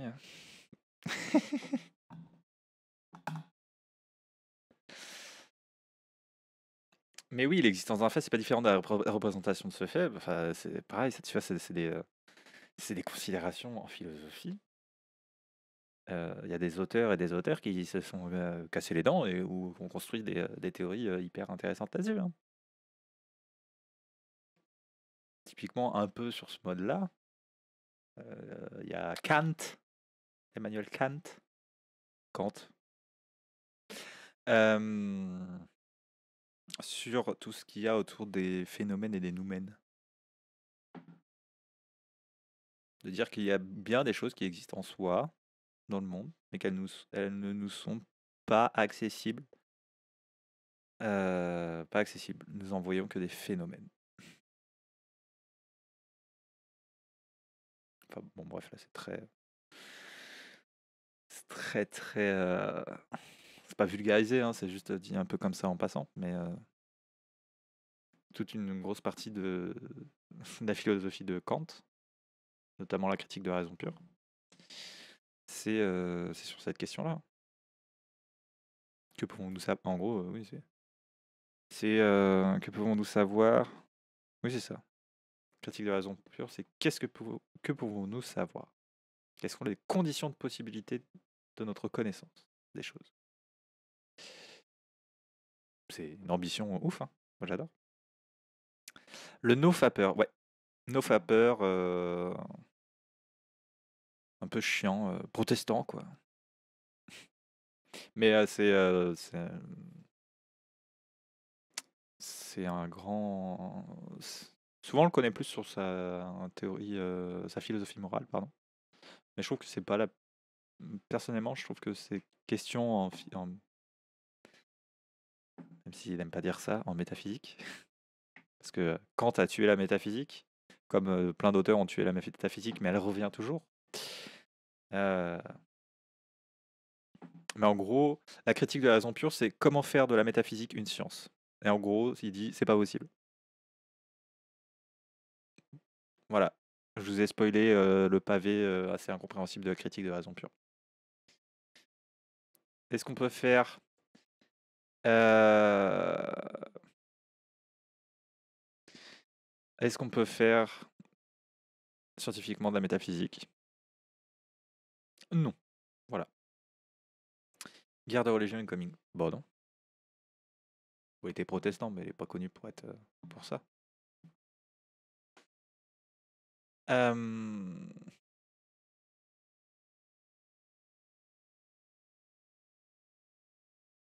Pause Oui, j'ai dit pause. 22h pile. Allez, pause. Cette fois-ci, je vous remets un autre album. Mais ça reste intéressant, la métaphysique, non Oui, grave. Grave, grave. hein. Mais surtout que à chaque fois que quelqu'un pense avoir euh, dead ça, c'est pas le premier à avoir dead euh, la métaphysique. hein.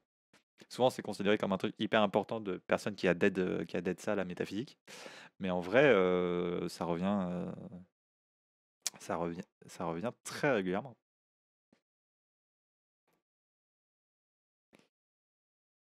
Et tchic, tchic, tchic, tchic. Voilà. Et ben, je remets du son, et puis c'est la pause. Tu vas nous quitter à la pause, vas me toucher, dodo. Bah, de rien. La métaphysique pire que les discours Twitter. En vrai, les discours Twitter, c'est chiant, mais c'est souvent, euh, comme en philosophie, il y a plein de problèmes qui reviennent tout le temps euh, par des façons détournées. hein. Allez, à toutes. Hop, c'est un peu coupé de façon brutale. Bon, dernière ligne droite. Dernière ligne droite. On va peut-être expliquer un peu moins et lire un peu plus. On est reparti. Check, check, check. Donc, euh, dans un texte de 1979, ça ne nous rajeunit pas. Considérant l'affirmation et la revendication de la différence, différence des sexes, comme manifestation d'une fausse conscience. Colette Guillaumin décrit l'oppression comme une expérience de division de la conscience. Le concept de fausse conscience sert à rendre compte d'une forme d'inadéquation du sujet à lui-même. Une aliénation. Il permet ainsi de mesurer l'écart à combler pour atteindre une conscience de classe ou de genre. Enfin, une conscience de classe de sexe, du coup. Surtout contre l'émiettement de la conscience qu'engendre l'oppression, il présuppose la possibilité d'une recomposition d'un sujet unifié et adéquat à lui-même. On pourrait parler de théorie de l'adéquation euh, de l'idée et de l'objet chez Spinoza, mais on n'a plus trop le temps et je suis fatigué.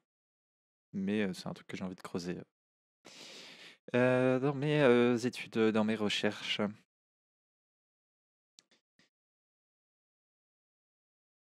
les pratiques des dominants qui nous morcellent nous obligent à nous considérer comme formés de morceaux hétérogènes, dans une sorte de patchwork d'existence. Nous avons à vivre des choses distinctes et coupées l'une de l'autre, à tenir des conduites parcellaires. Mais notre existence propre, cachée sous cette fragmentation, est sans cesse renaissante dans notre unité corporelle et notre conscience de cette unité. Si nous sommes déchirés et si nous protestons, c'est quand nous, quelque part, le sujet se découvre à être usé comme objet.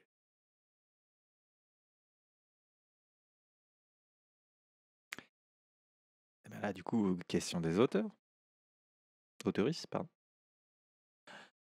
Où se situe ce quelque part depuis lequel identifier, dire et atteindre son existence propre? On l'a vu tout à l'heure. Hein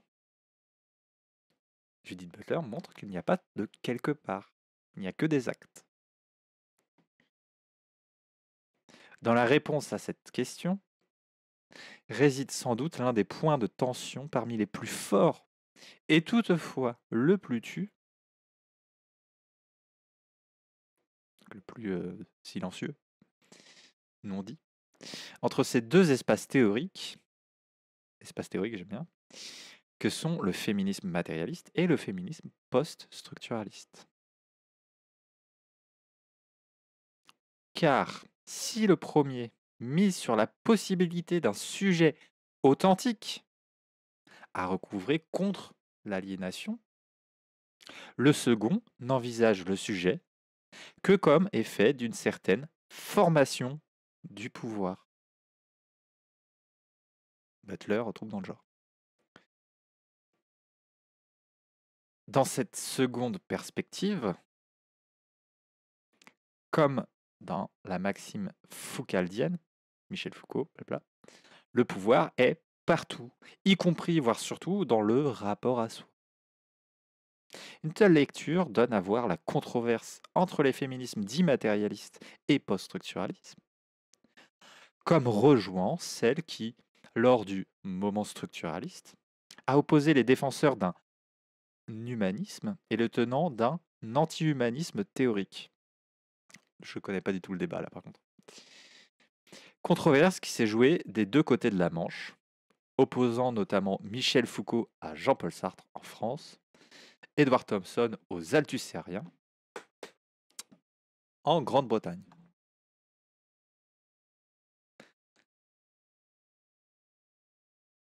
La divergence de stratégie politique parmi les féministes peut être reconsidérée au prisme de cette tension entre humanisme et anti-humanisme.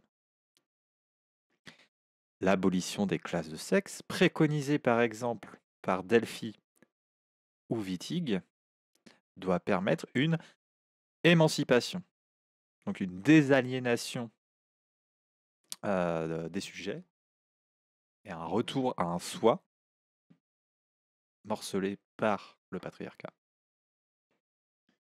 Ok, j'ai juste anticipé ce que disait la suite. Autrement dit, le retour à un rapport à soi désaliéné.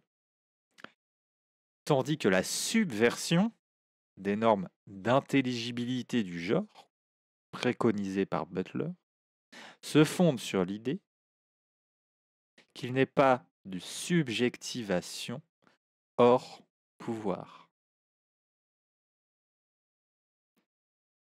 Butler évoque d'ailleurs dans Trouble dans le genre les, les limitations qu'impose l'humanisme de Wittig, qui l'oblige manifestement à postuler l'existence d'un acteur ou d'une actrice cachée derrière l'acte.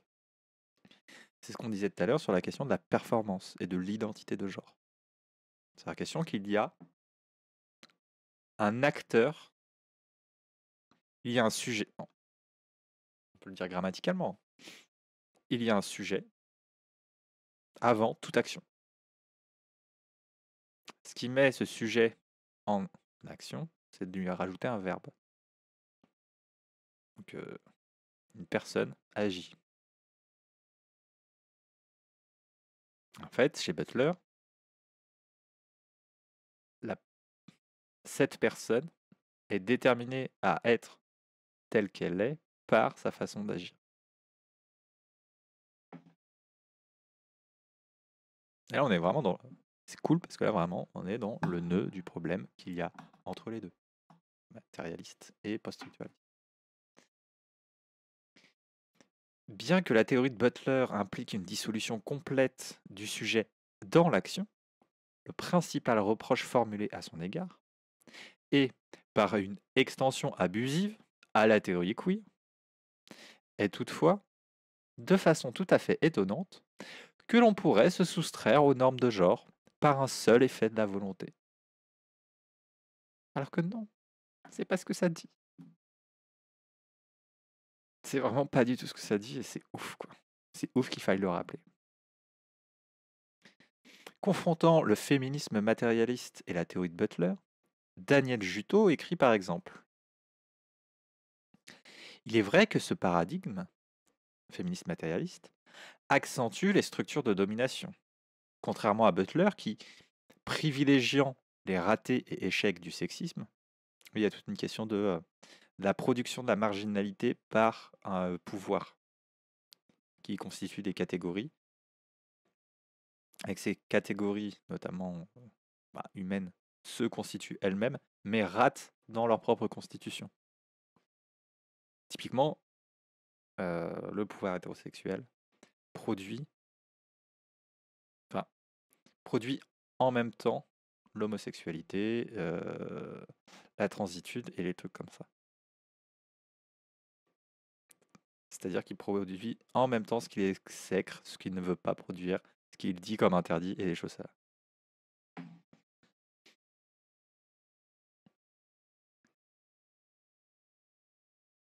Euh, qui privilégiant les ratés et les excès du sexisme, offrirait une perspective plus encapacitante, donc traduction empowerment, axée sur un agir transformateur. La politique du performatif la déstabilisation des catégories, des normes, discours et symboles, sont des armes redoutables, certes, mais qui demeurent internes aux structures de pouvoir. Disons que ces mécanismes sont insuffisants, d'où le besoin d'action politique s'attaquant aux structures matérielles. Division sexuelle du travail, échange de vie limité, charge physique des êtres humains, privation d'individualité, coûts, qui tente de fixer les relations de pouvoir entre hommes et femmes dans un état de domination. Moins enjouées, certes, ces analyses font néanmoins les combats qui contribueront ultimement à débloquer les relations de pouvoir entre hommes et femmes et à assurer leur réversibilité.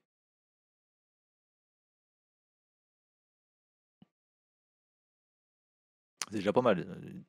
Au moins, ça dit c'est intéressant, mais ça ne suffit pas. On retrouve ici l'idée courante, selon laquelle les propositions de Butler évoqueraient une forme non seulement de volontarisme, mais même de rapport ludique aux politiques. Ce qui est particulièrement frappant dans cette citation, c'est la surprenante qualification d'enjoué pour désigner un horizon théorique au sein duquel les structures de pouvoir n'ont pourtant pas de dehors. Et c'est ça la différence entre les deux aussi. C'est que il n'y a pas de possibilité d'émancipation puisque tout est toujours pouvoir. Enfin, il faut penser autrement le pouvoir. La critique de Juto contre Butler ne tient pas.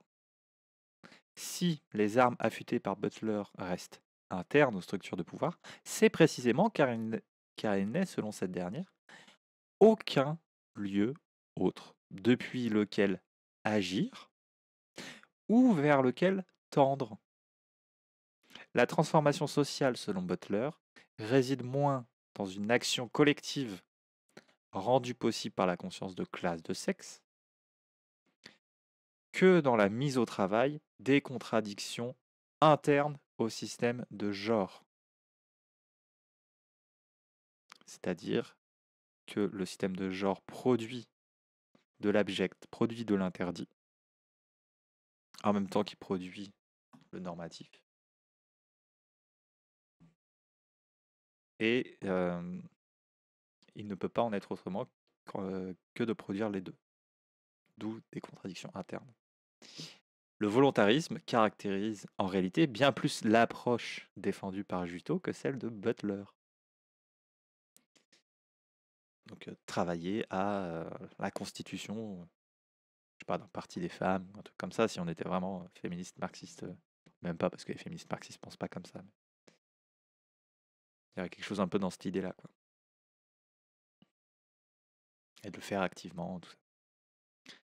La controverse ici étudiée a ceci d'intéressant qu'elle ramène au premier plan toute une série de questions majeures, aussi bien sur le plan théorique qu'épistémologique. Elle peut constituer dans son versant le meilleur un exercice de clarification. C'est ce qui est fait dans ce, cet article. Ainsi, la confrontation entre les deux perspectives permet par exemple de reconsidérer la place de l'idéologie. En la sortant du modèle base superstructure qu'il avait assigné à la position de catégorie seconde. Dans un contexte au sein duquel une part conséquente des travaux qui se réclament du féminisme matérialiste semble avoir quelque peu délaissé, et le mot est faible, cet enjeu, l'enjeu de. Et même de, de, faire de la politique aussi. Parce qu'il y a ça aussi dans constitution de groupes sociaux avec constitution d'intérêts communs. L'apport du post-structuralisme sur ce point est notamment d'affirmer la théorie féministe comme étant elle-même une entreprise idéologique. Et c'est pas l'idéologie. Ah, c'est idéologique, donc donc c'est nul, c'est pas le vrai monde de, de la réalité véritable. Non, c'est une entreprise idéologique, comme toute entreprise et comme tout discours sur le monde. Là, en l'occurrence, une entreprise idéologique, un discours sur le monde, tel qu'on potentiellement on voudrait qu'il soit. une, médiation fondamentale pour élaborer et réélaborer sans cesse, sous des formes différentes, en fonction des conjonctures, l'antagonisme politique qui doit être le moteur des luttes qu'elle porte.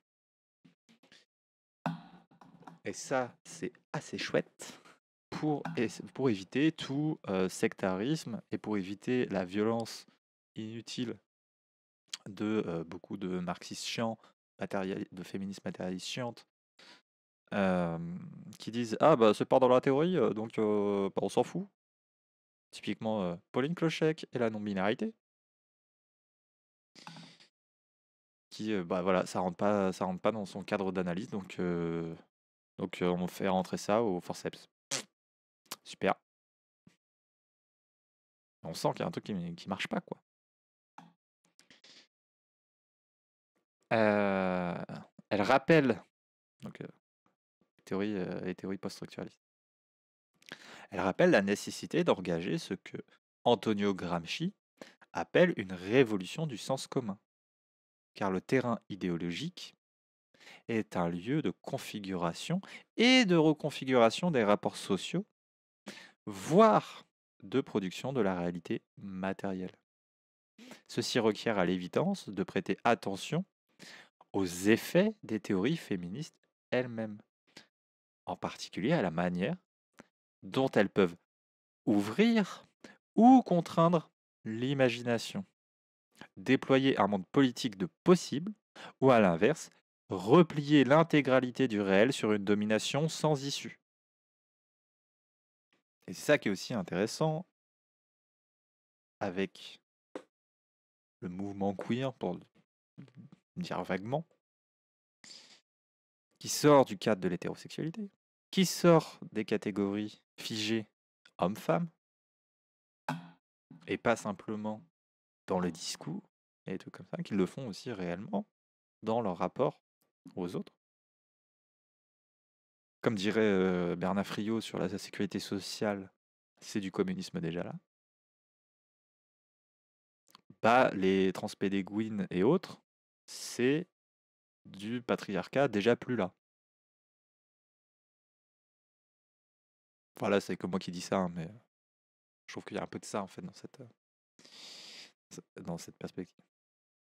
Et comme c'est du déjà, du déjà un peu là, bah ça permet d'avoir un, un ancrage à la fois affectif et imaginaire sur ce qui peut être possiblement à venir et à faire advenir. Et c'est important ça aussi. Il ne s'agit pas simplement ici de dire l'importance de penser simultanément l'oppression et les formes de résistance qu'elle rencontre, ce que font de nombreux travaux, mais de souligner la nécessité d'inventer les conditions de révolte nouvelles contre l'existant. De ce point de vue, l'entretien que Marco del Homo d'Armée a conduit sur ce numéro avec Barbara Balzerani, écrivaine et figure de la lutte armée italienne, est tout à fait éclairant. Ancienne dirigeante d'une section des Brigades Rouges, condamnée à perpétuité pour terrorisme, Balzerani rend compte de la difficile jonction des imaginaires politiques, du féminisme et de la lutte armée dans le contexte italien. Et surtout de la capacité de la littérature à créer des mondes où se manifeste le refus de l'impuissance. La littérature et son potentiel politique sont également au cœur du texte de Tim Libretti, publié dans ce numéro. Et comme je le disais, c'est euh, l'article introductif euh, d'une revue. Ce dernier souligne la façon dont les écrits littéraires de John Ritchie et James Baldwin peuvent être investis pour reconfigurer une politique marxiste historiquement réactive à inclure dans son champ de problématisation la question de la sexualité et celle de la race. Les formes culturelles jouent un rôle capital, insiste Libretti, dans la possibilité même d'imaginer la révolution et ses modalités concrètes. D'où la nécessité d'explorer les projets idéologiques dont elles sont porteuses, pour qui envisage l'émergence d'une conscience révolutionnaire dont les contours ne seraient pas fondés sur l'exclusion. Et là, je vais mettre ça en rouge parce que c'est un truc essentiel. Euh, allez, on se lit vite à la conclusion et après j'arrête parce que j'ai faim, je suis fatigué et j'ai plus de voix. Donc la conclusion, l'histoire du féminisme matérialiste est celle de la constitution d'un ensemble de propositions théoriques en école, avec ses postulats, ses méthodes prestiques, prescrites, ses objets privilégiés, et, comme toute école, ses points aveugles et ses exclusions. Poser quelques jalons pour une étude des cadres sociaux dans, dans lesquels cette école s'est formée et pour une analyse critique de son épistémologie, comme nous avons tenté de le faire, ne signifie en rien un abandon de cette tradition pensée. Hello, allo et tu deviens communiste. C'est vrai ça. À moins que tu l'étais déjà. bah merci pour le, pour le follow. On arrive sur la fin du live. 4 hein. heures sur un article, enfin sur un demi-article. Ça commence à faire long. donc ça aurait un abandon de la tradition de pensée du féminisme matérialiste. Déconstruire n'est pas détruire, c'est un engagement. Comme l'écrit Gayatri Chakravorty Spivak, la critique la plus sérieuse est la critique de ce qui nous est extrêmement utile, de ce sans quoi on ne peut vivre, de ce sans quoi on ne pourrait prendre de risques. La puissance théorique et politique des travaux rassemblés sous le label du féminisme matérialiste n'est plus à démontrer.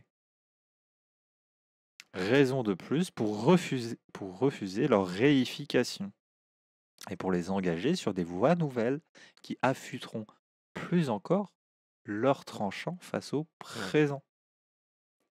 En fait, plus, la plupart des travaux estampillés féministes matérialistes datent des années 70-80. 90 un petit peu.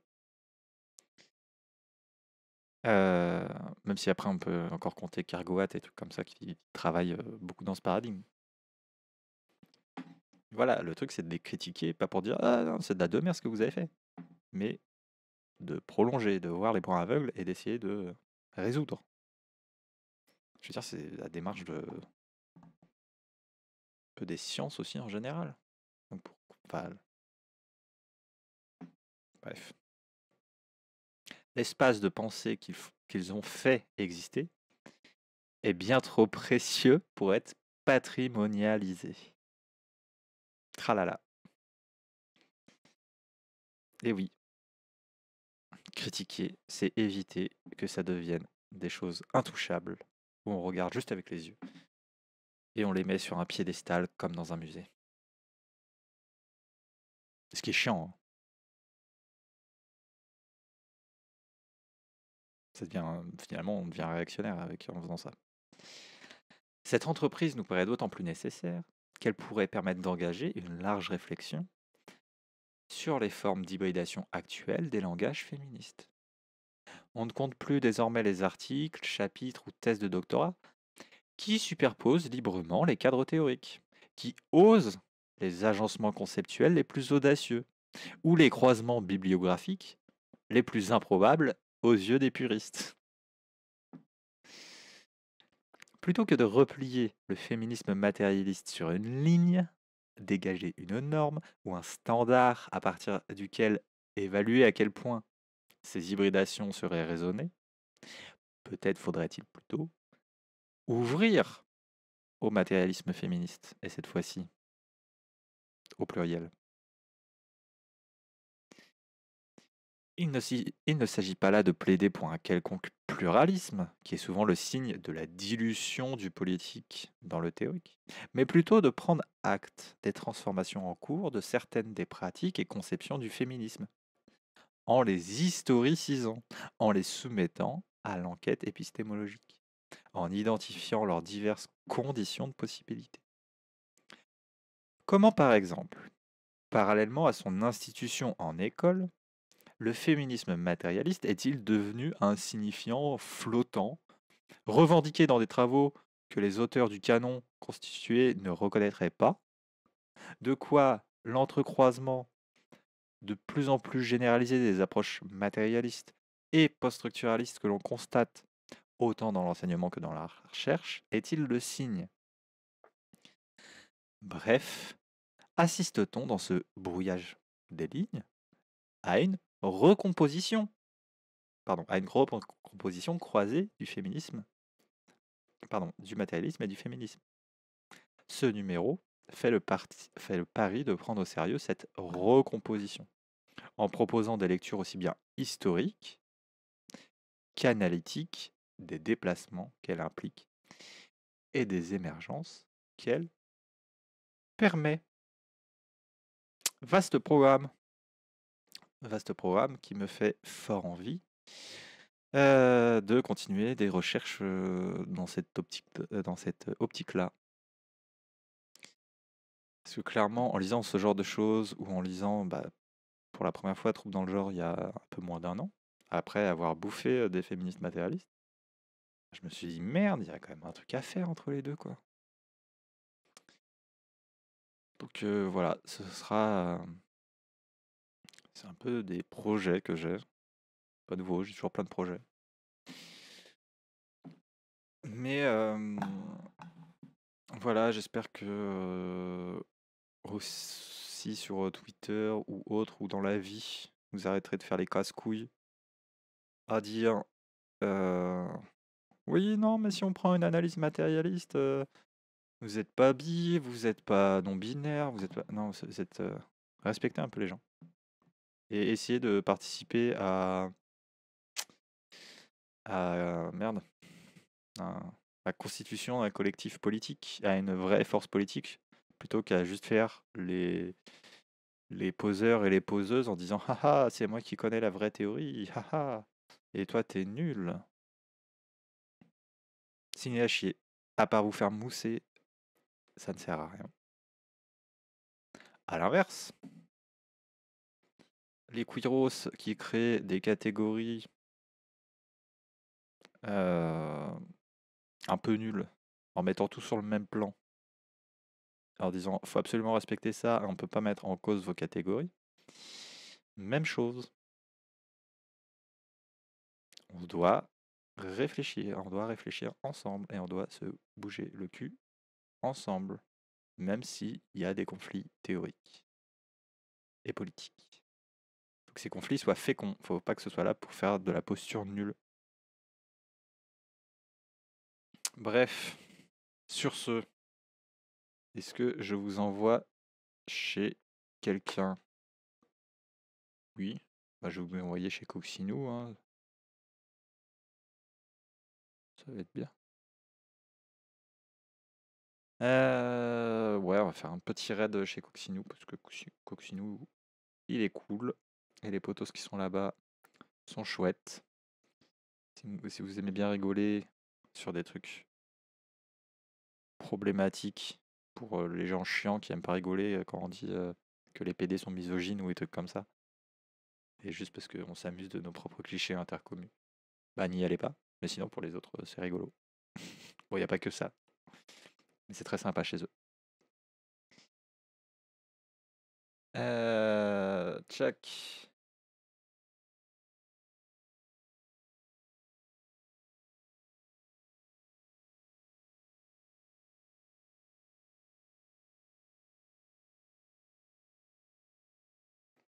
C'est parti, let's go.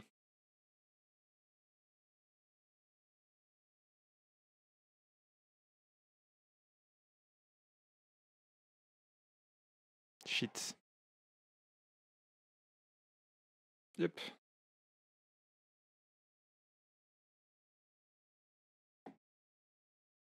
Et ben, à une prochaine fois.